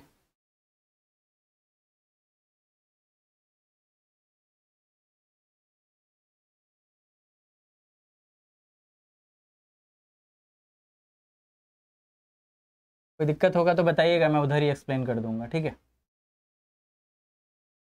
अब पहला ऑप्शन क्या है कि अगर डी डिवाइड करता है एन को then there exist a subgroup of G of order D और क्या दिया हुआ है कि G be a finite abelian group of order N then pick the each correct statement तो डी अगर एन को डिवाइड करे तो डी ऑर्डर का एक सब ग्रुप मिलेगा। तो ये ऑप्शन इसलिए ट्रू होगा क्योंकि फाइनाइट अबेलियन ग्रुप में लगरांज थ्योरम का कन्वर्स ट्रू होता है। तो ये तो वहाँ से डायरेक्टली ट्रू हो जाएगा, इसे हमें वेरीफाई करने की भी ज़रूरत नहीं है। स्टैंडर्ड रिज़ल्ट है। अब कह रहा है कि डी अगर डिवाइड करेगा एन को तो एक एलिमेंट मिलेगा ऑर्डर डी का। तो हम क्या कर सकते हैं? जी को आइसोमॉर्फिक टू के फोर ले सकते हैं। इसमें आ जाएगा identity A B and A dot B ठीक है? तो चार तो डिवाइड कर रहा है के फोर के ऑर्डर को, लेकिन चार ऑर्डर का कोई एलिमेंट नहीं है ना। चाहे तो सबसे सिंपल के फोर ही है, वो Z two cross Z two ले लीजिए। तीन एलिमेंट मिल जाएँगे दो ऑर्डर के। हाँ जी तो ये अपना डिस्कार्ड हो गया। कह रहा है कि if every proper subgroup of G cyclic then G cyclic आप यहाँ पे S3 ले सकते हैं। S3 के सारे प्रॉपर सब ग्रुप साइक्लिक होते हैं। इवन आप चाहें तो Q8 ले सकते हैं। उसके भी सारे प्रॉपर सब ग्रुप साइक्लिक होते हैं। लेकिन ग्रुप हमारा साइक्लिक नहीं होता है। ठीक है। तो ये भी डिस्कार्ड हो गया अपना। अब आते हैं डी नंबर पे। तो डी नंबर में क्या कह रहा है कि if H is a subgroup of G then there exists a subgroup n of G such that G by n is isomorphic to H. Simple. तो देखिए, इसको समझाने के लिए इसे हम प्रॉपर प्रूफ कर सकते हैं बट अभी उसमें जाने की ज़रूरत नहीं है। लॉजिक आप समझिए। अभी फ़िलहाल आप एमसीक्यू कैसे सॉल्व करते हैं उस पर ध्यान देते हैं कि जी जो है हमारे पास क्या है? फाइनाइट अबेलियन ग्रुप है। तो फॉर एग्ज़ाम्पल मैं समझाने के लिए बता रहा हूँ कि जी मान लीजिए दस ऑर्डर का है, ठीक है? तो टेन के कितने डिवाइजर हैं? One, two, five and ten. ये चार डिवाइजर हैं। इसके अलावा तो टेन का पॉजिटिव डिवाइजर नहीं है। तो मान लीजिए कि एक ऑर्डर का जो सब ग्रुप है, वो हमारा एच वन है, दो ऑर्डर का जो है, वो एच टू है। ये हमारा एच फाइव बना देते हैं और इसको एच टेन बना देते हैं, ठीक है? तो बाई लेग्रांज थ्योरम का कन्वर्स, जी के पास एक ऑर्डर का, दो ऑर्डर का, पाँच ऑर्डर का, दस ऑर्डर का, सब तरह का सब ग्रुप मिलेगा। अच्छा तो अब देखिए, जब आप जी अपॉन एच वन करेंगे, ये चारों अबेलियन के सब ग्रुप हैं तो नॉर्मल होंगे। और अगर नॉर्मल सब ग्रुप है तो मैं क्वेश्चन ग्रुप की बात कर सकता हूँ। तो जी अपॉन एच वन इसका ऑर्डर क्या होगा? Order of G upon H one ये एक ऑर्डर का और ये हमारा दस ऑर्डर का। तो ये बन जाएगा दस ऑर्डर का। फिर order of G upon H two करेंगे तो ये आपको मिल जाएगा पाँच ऑर्डर का। Order of G upon H three करेंगे सॉरी एच थ्री नहीं एच फाइव करेंगे, ये मिल जाएगा दो ऑर्डर का, और order of G upon H ten करेंगे तो ये मिल जाएगा आपको वन ऑर्डर का। पहली बात, दूसरी बात क्या, कि जब हम क्वेश्चन ग्रुप पढ़ते हैं तो वहाँ ये पढ़ते हैं कि जी अगर अबेलियन होता है तो जी बाई एच हमेशा क्या होगा अबेलियन होगा। तो ऑब्वियसली ये चारों हमारे अबेलियन ग्रुप ही होने वाले हैं, ठीक है? अब आगे आते हैं, अब ऑप्शंस को पढ़िए। H is a subgroup of G exist a subgroup N of G such that G by N is isomorphic to H ठीक है? अब देखिए अब अगर मान लीजिए एच मेरा एक ऑर्डर का हो रहा होगा तो उसके लिए आ, जी बाई एन को एच के आइसोमॉर्फिक करना है ना? तो एच अगर मान लीजिए मुझे एक ऑर्डर का चाहिए तो उसके लिए एन किस तरह का मिलेगा मुझे? जेड टेन टाइप का मिल जाएगा। फिर एच अगर मेरा दो ऑर्डर का हो रहा होगा तो उसके लिए एन मुझे पाँच ऑर्डर का मिल जाएगा। एच अगर मुझे पाँच ऑर्डर का चाहिए तो उस समय एन मुझे दो ऑर्डर का मिलेगा और एच अगर दस ऑर्डर का चाहिए तो एन वन ऑर्डर का। अब इन चारों के अलावा पांचवा पॉसिबिलिटी भी तो नहीं है ना? बात समझ रहे हैं? मैं प्रूफ नहीं कर रहा हूँ जस्ट एक आइडिया दे रहा हूँ आपको। इस तरीके से आप कर सकते हैं कि आ, आपको कितने भी ऑर्डर का एक क्वेश्चन ग्रुप चाहिए ना तो उसके लिए आप क्या करिए कि फॉर एग्ज़ाम्पल दस ऑर्डर के ग्रुप के हेल्प से आपको पाँच ऑर्डर का क्वेश्चन ग्रुप चाहिए तो अपॉन में दो ऑर्डर वाला ले लीजिए, यहाँ दस ऑर्डर का चाहिए तो अपॉन में एक ऑर्डर का ले लीजिए, और इस तरीके से आप डिफाइन कर सकते हैं। तो डी नंबर हमारा ट्रू हो जाएगा। तो ए डी मोस्टली लोगों का आंसर था तो ए एंड डी दोनों सही है, ठीक है? तो ये पी वाई क्यू था अपना नेट का ही पूछा हुआ क्वेश्चन है ये।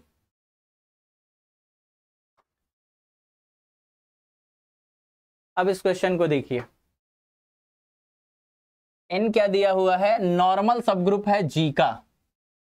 इस क्वेश्चन को मैं रियल में काउंटेबिलिटी में भी यूज़ करता हूँ। और यहाँ पे भी हम इसे यूज़ कर सकते हैं, कोई दिक्कत नहीं है। दोनों ही जगह ये यूज़ हो जाएगा। तो suppose N is a normal subgroup of a group G which one of the following is true तो कह रहा है कि G अगर हमारा इनफाइनाइट ग्रुप है तो G बाई एन भी हमेशा इनफाइनाइट ग्रुप होगा। G अगर नॉन अबेलियन ग्रुप है तो G by N non abelian होगा। G अगर साइक्लिक है तो G बाई एन अबेलियन होगा, और G अगर अबेलियन है तो G बाई एन साइक्लिक होगा। देन का मतलब होता है इंप्लाई करना। देन का मतलब इंप्लाई करना। ठीक है?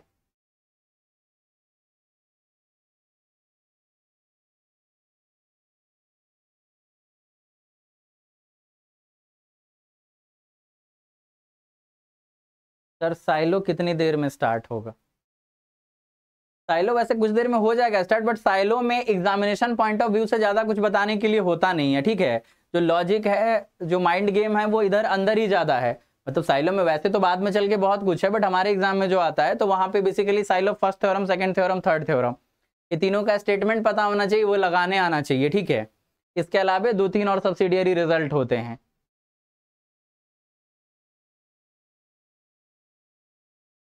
उधर ऐसा कुछ स्ट्रॉन्ग लॉजिक सा तो उधर नहीं फॉर्म होता।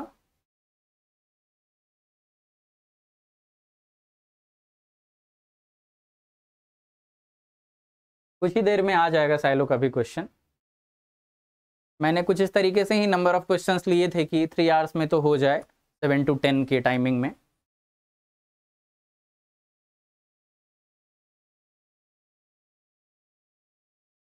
तो जी अगर हमारा इनफाइनाइट ग्रुप है तो क्या जी बाई एन इनफाइनाइट होगा? इसका आंसर नहीं करे आप लोग। फटाफट पहले आंसर तो करिए, मैं एक्सप्लेन करना शुरू कर दिया। Deepanshi C D okay Ritu A AC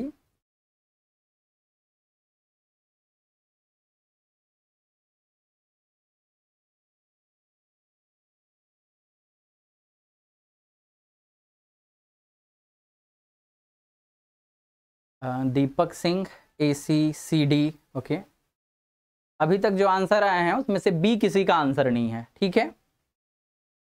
ए सी और डी अच्छा। नाजिया नाजिरा समीर ने बी आंसर करा है। मतलब फ़िलहाल चारों ऑप्शन जो हैं, वो आंसर होने की कगार पे हैं। चलिए देखते हैं। जी, हमारे पास अगर इनफाइनाइट ग्रुप है तो जी बाई एन क्या होगा? इनफाइनाइट ग्रुप होगा, ठीक है? तो अभी एक स्टूडेंट ने अब हमें जेड अपॉन एन जेड का एग्ज़ाम्पल दिया था। ऊपर कमेंट चला गया इसलिए मुझे दिख नहीं रहा है। इन्हीं ने जेड अपॉन एन जेड दिया था। पता नहीं शायद डिलीट करके हट आ, नहीं। C one three nine five ने जेड अपॉन एन जेड बोला था। देखिए जेड हमारे पास इनफाइनाइट है ना? लेकिन जेड अपॉन एन जेड करते हैं तो ये आइसोमॉर्फिक टू जेड एन होता है ठीक है? तो ग्रुप अगर इनफाइनाइट हो तो ज़रूरी नहीं है कि उसका क्वेश्चन ग्रुप इनफाइनाइट हो जाएगा। जी हमारा इनफाइनाइट है, इससे जी अपॉन एन इनफाइनाइट होगा, ऐसा ज़रूरी नहीं है। अब कह रहा है जी अगर हमारा नॉन अबेलियन है तो जी बाई एन भी नॉन अबेलियन होगा। तो आप क्या करिए यहाँ पे कि जी को एस थ्री ले लीजिए और एच को एच क्या यहाँ पे एन बोला हुआ है ना? तो एन को ए थ्री ले लीजिए। एन को नॉर्मल सब ग्रुप लेने के लिए बोला है तो एस थ्री में ए थ्री नॉर्मल होता है। तो जी बाई एन किसके आइसोमॉर्फिक हो जाएगा? जेड टू के आइसोमॉर्फिक हो जाएगा। ये तो साइक्लिक हो गया अबेलियन भी हो गया। तो जी अगर हमारा नॉन अबेलियन है तो इससे ये इंप्लाई नहीं करेंगे कि G by N non abelian होगा। फिर जी अगर हमारे पास साइक्लिक ग्रुप है तो इंप्लाई करता है कि जी बाई एन अबेलियन होगा। एक्चुअल में रिज़ल्ट क्या पढ़ते हैं हम लोग? कि जी अगर साइक्लिक होता है ना तो अपना जी अपॉन एच क्या हो जाता है? साइक्लिक हो जाता है। तो अबेलियन तो ऑब्वियसली होगा। तो ये ट्रू हो गया। अब कह रहा है जी अगर अबेलियन होगा तो जी बाई एन हमारा साइक्लिक हो जाएगा। तो जी के अबेलियन होने से जी बाई एन के साइक्लिक होने का कोई रिलेशन नहीं है। ठीक है? जी के अबेलियन होने से जी बाई एन जो है, वो हमेशा अबेलियन होगा। साइक्लिक हो ऐसा ज़रूरी बिल्कुल नहीं है। ठीक है? तो ये हमारा फॉल्स हो जाएगा। तो सी नंबर आंसर हो जाएगा। चलते हैं अगले क्वेश्चन पे। चलिए भाई, साइलो आ गया आपके सामने। हाँ बिल्कुल बिल्कुल। आपने एस एन ए एन बोला है, मैंने एस थ्री, ए थ्री लिया था, ठीक है?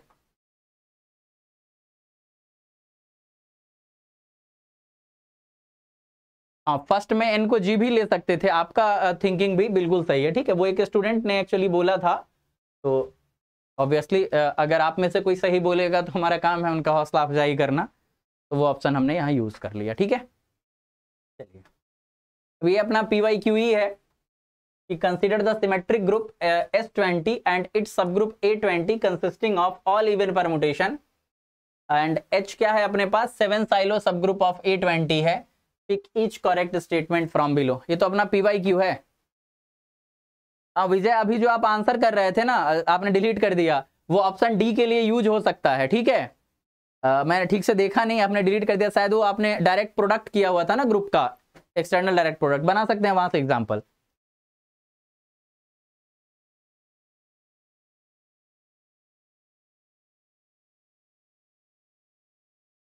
एग्जैक्टली exactly क्या लिखा था वो तो मैंने नहीं देखा बट उस तरह से हम उसी तरह से एग्ज़ाम्पल बनाएँगे सर क्योंकि अब एलियन है तो या तो वो साइक्लिक होगा नहीं तो साइक्लिक के प्रोडक्ट में होगा.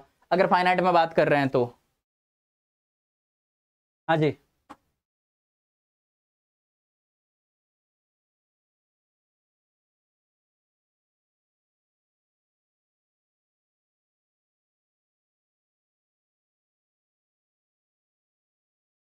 चलिए, एक एग्ज़ाम्पल मैं उसका लिख ही दे रहा हूँ। क्यू बाई जेड जब आप डिफाइन करते हैं ना, ये आइसोमॉर्फिक होता है एच एफ़ के एच एफ़ का मतलब क्या है हमारे पास? Collection of all finite ordered element of C star dot ठीक है? सी स्टार डॉट हमारा अनकाउंटेबल ऑर्डर का अबिलियन ग्रुप होता है। तो ये एच एफ़ जो है ना, ये नॉन साइक्लिक अबिलियन ग्रुप बनता है सी स्टार डॉट का, ठीक है? एच एफ़ नाम इसलिए है क्योंकि सी स्टार डॉट के सारे फाइनाइट ऑर्डर के एलिमेंट का कलेक्शन है ये। तो ये हमारा काउंटेबली इनफाइनाइट ऑर्डर का नॉन साइक्लिक अबिलियन ग्रुप होता है। चलिए, अब आगे आते हैं। हाँ तो ये तो खैर पी वाई क्यू है। इस क्वेश्चन को बस मैंने इसलिए रखा है कि साइलोज में बेसिकली आपको स्टेटमेंट्स पता होने चाहिए उसको यूज़ कैसे करना है तो फिर आप कर सकते हैं ठीक है?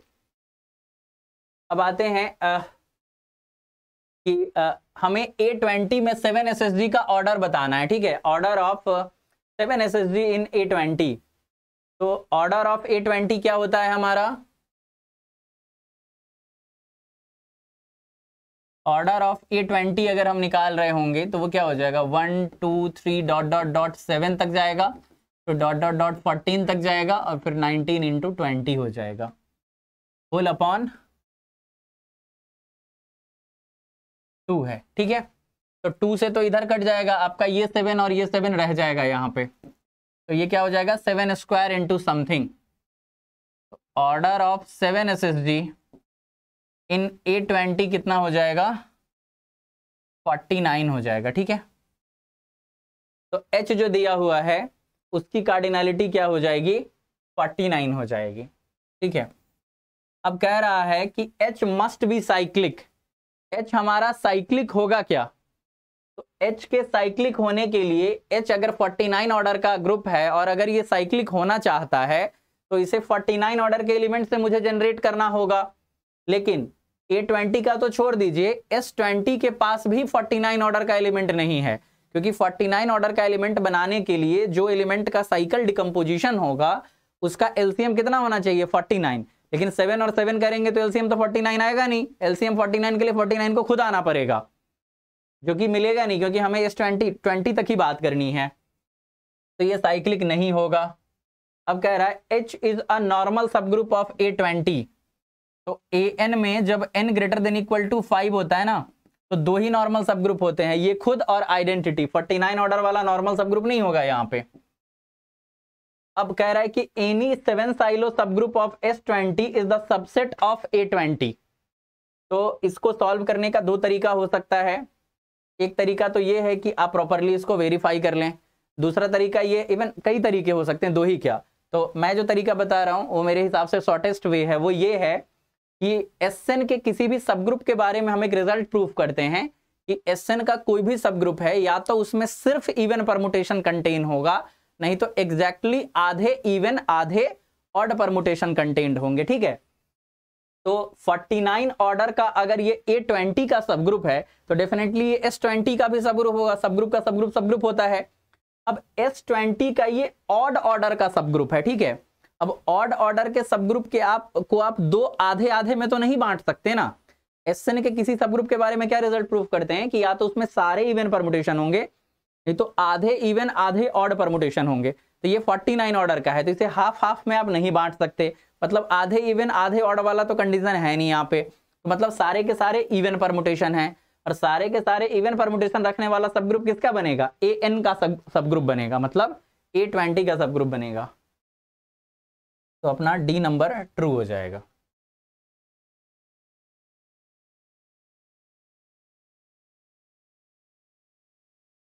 हाँ जी, अब अगला है कि G denote the group S4 cross S3 then two Sylow subgroup of G is normal three Sylow subgroup of G मतलब और टू साइड मतलब एक टू एस मिलेगा जो नॉर्मल होगा, एक थ्री एस मिलेगा जो नॉर्मल होगा। तो एस के बारे में क्या है? कि P S S G unique if and only if it is normal कोई P S S G normal होता है कब? इफ़ एंड ओनली इफ़ वो यूनिक हो, तब जाके वो नॉर्मल होगा। तो अ two S S G of G is normal तो यूनिक अगर हुआ तो हो जाएगा normal three S S G of G is normal unique होगा तो हो जाएगा normal G has a non trivial normal subgroup और G has a normal subgroup of order 72 आपको बताना है कि कौन सा आंसर ट्रू है इसमें से? बताइए फटाफट से, फिर एक्सप्लेन करते हैं।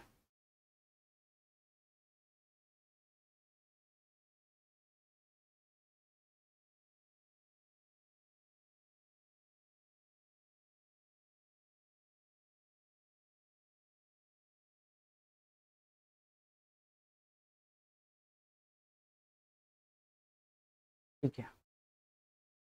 तो order of S four cross S three ये कितना हो जाएगा? ये ट्वेंटी फोर ऑर्डर का है।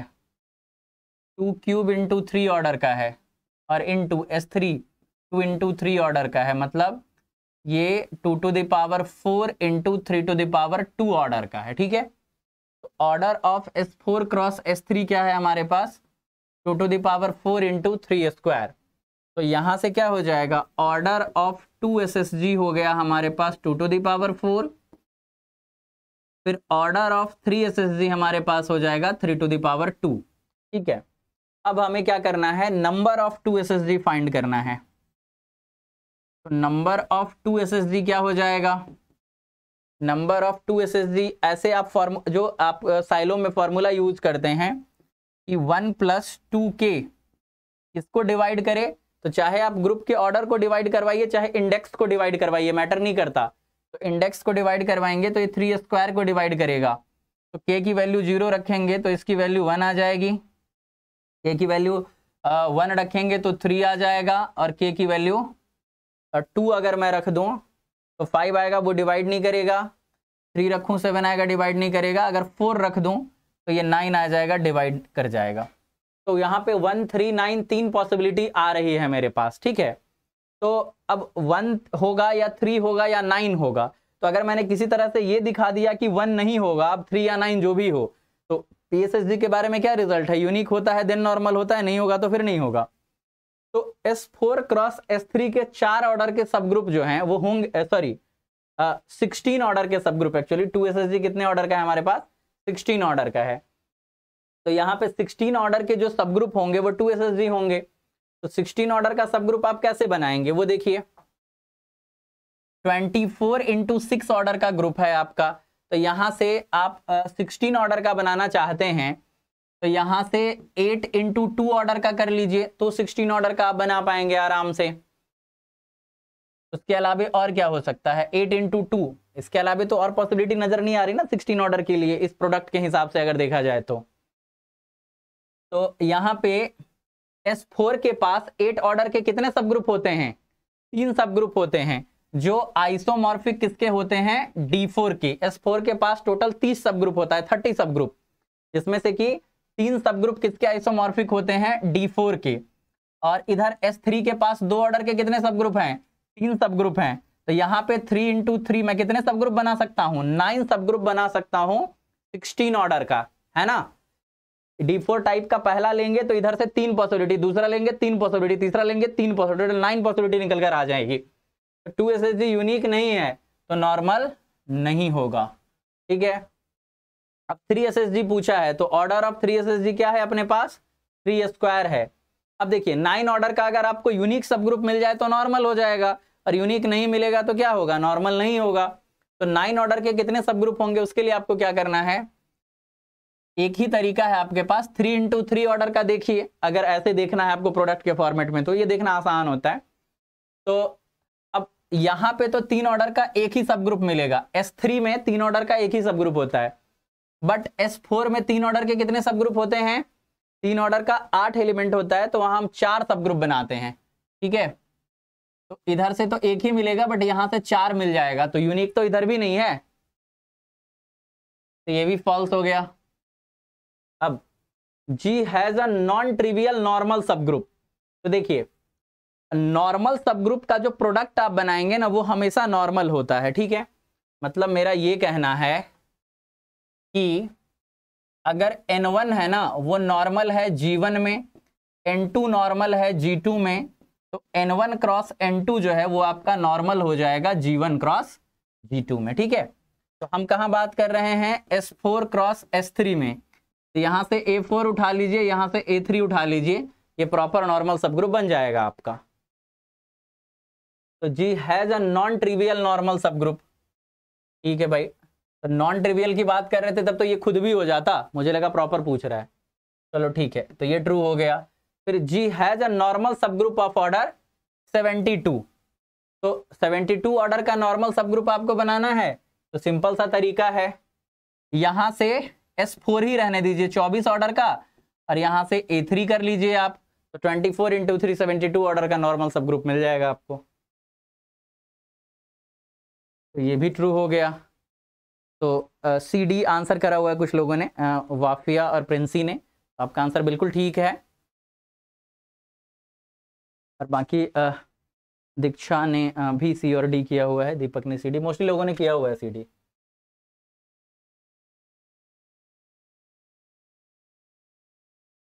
ये क्या होमोमॉर्फिज्म का क्वेश्चन इसमें आ गया क्या? क्या let S N denote the permutation group on N symbols and in the subgroup of even permutation which of following is are true there exist a finite group which is not a subgroup of any नहीं ये actual में हम लोग एक theorem पढ़ते हैं, उसका नाम क्या है? कैले थ्योरम ठीक है? कैले थ्योरम क्या कहता है कि दुनिया का कोई भी ग्रुप है ना, वो ग्रुप ऑफ़ बाइजेक्शन का क्या बनता है? देयर एग्जिस्ट कंडीशन पे ऑप्शन डी सही होगा। एक मिनट देख लेते हैं, अगर आपकी बात ठीक है तो ठीक है फिर। नहीं तो देयर एग्जिस्ट कहाँ बोला है? सौरभ जी डी में तो देयर एग्जिस्ट नहीं बोला ना। देखिए हैज़ बोले ना तो उसका मतलब गारंटी है, ठीक है?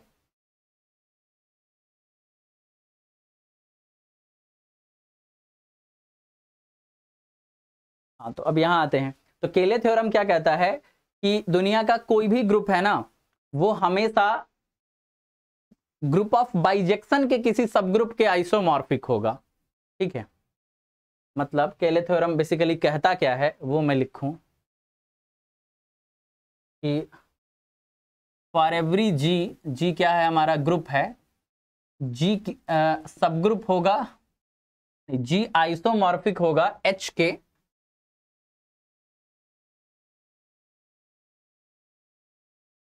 जी जो है वो आइसोमॉर्फिक होगा एच के जो सब ग्रुप किसका है? ग्रुप ऑफ़ बाइजेक्शन के। इसका मैं क्या नाम दे दूँ? जी बाइजेक्शन ऐसा कुछ नाम दे देता हूँ, ठीक है? अब जी बाइजेक्शन को डिफाइन कैसे किया हुआ है? तो five define from G to G which is one one onto और इसे ग्रुप बनाया है हमने विद रिस्पेक्ट टू कंपोजिशन ठीक है? मतलब दुनिया का कोई भी ग्रुप आप उठा लीजिए ना, ठीक है? तो वो उसी ग्रुप से उसी ग्रुप पे जितने one one onto function जितने बाइजेक्शन डिफाइन किए गए हैं, उसका विद रिस्पेक्ट टू कंपोजिशन जो आप ग्रुप बनाइएगा तो उसी के किसी सब ग्रुप के आइसोमॉर्फिक होगा।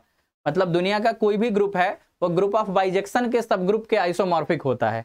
ये पहली बात हो गई, दूसरी बात अगर ऑर्डर ऑफ़ जी हमारा एन होगा तो जी आइसोमॉर्फिक होगा एच के जो कि सब ग्रुप होगा किसका? एस एन का।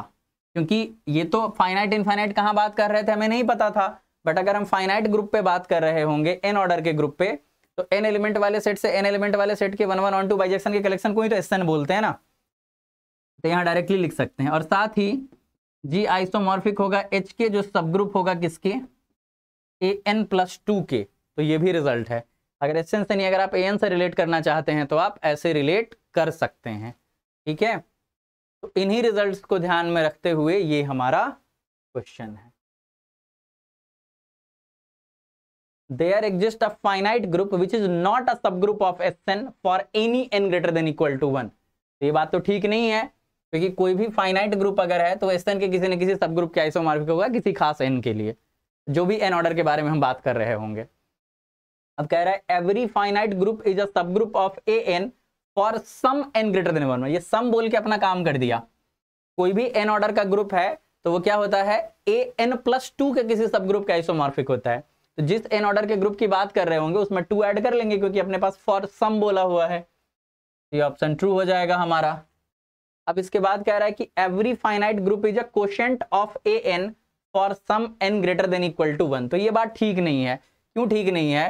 क्योंकि n की वैल्यू अगर हम greater than equal to five लेते हैं ना तो ए फाइव का क्वेश्चन ग्रुप दो ही तरह का बनता है सॉरी ए एन का क्वेश्चन ग्रुप दो ही तरह का बनेगा। या तो ए एन अपॉन आइडेंटिटी नहीं तो A N upon A N ये आइसोमॉर्फिक हो जाएगा जेड वन के आइसोमॉर्फिक हो जाएगा ए एन के। तो ए एन का जो क्वेश्चन होगा, खासतौर से N greater than equal to five के लिए तो या तो वो ए एन जैसा ही होगा, और नहीं तो जेड वन जैसा होगा। फॉर एग्ज़ाम्पल मुझे पचास ऑर्डर का अबेलियन ग्रुप चाहिए तो वो तो ना ए एन जैसा होता है, ना जेड जैसा होता है। तो हर ग्रुप जो है, हर फाइनाइट ग्रुप, वो ए एन के क्वेश्चन जैसा ही हो, ये ज़रूरी नहीं है। ठीक है? अब कह रहा है no finite abelian group is a quotient of S N for N greater than three अब नो फाइनाइट अबेलियन ग्रुप बोला है, ये बात ठीक नहीं है। फॉर एग्ज़ाम्पल मैं एस फोर ले लूँ। तो S four upon A four कर दूँगा तो ये किसके आइसोमॉर्फिक होगा? जेड टू के। इनकी वैल्यू ग्रेटर देन थ्री बोला था ना तो हमने फोर ले लिया। तो जेड टू तो एक फाइनाइट अबिलियन ग्रुप है ना, जो एस फोर के क्वेश्चन के जो है आइसोमॉर्फिक है। कह रहे हैं no finite abelian group is a quotient of N ये बात गलत है। तो सिर्फ़ बी नंबर आंसर ठीक है। कोई दिक्कत इसमें? नहीं होना चाहिए।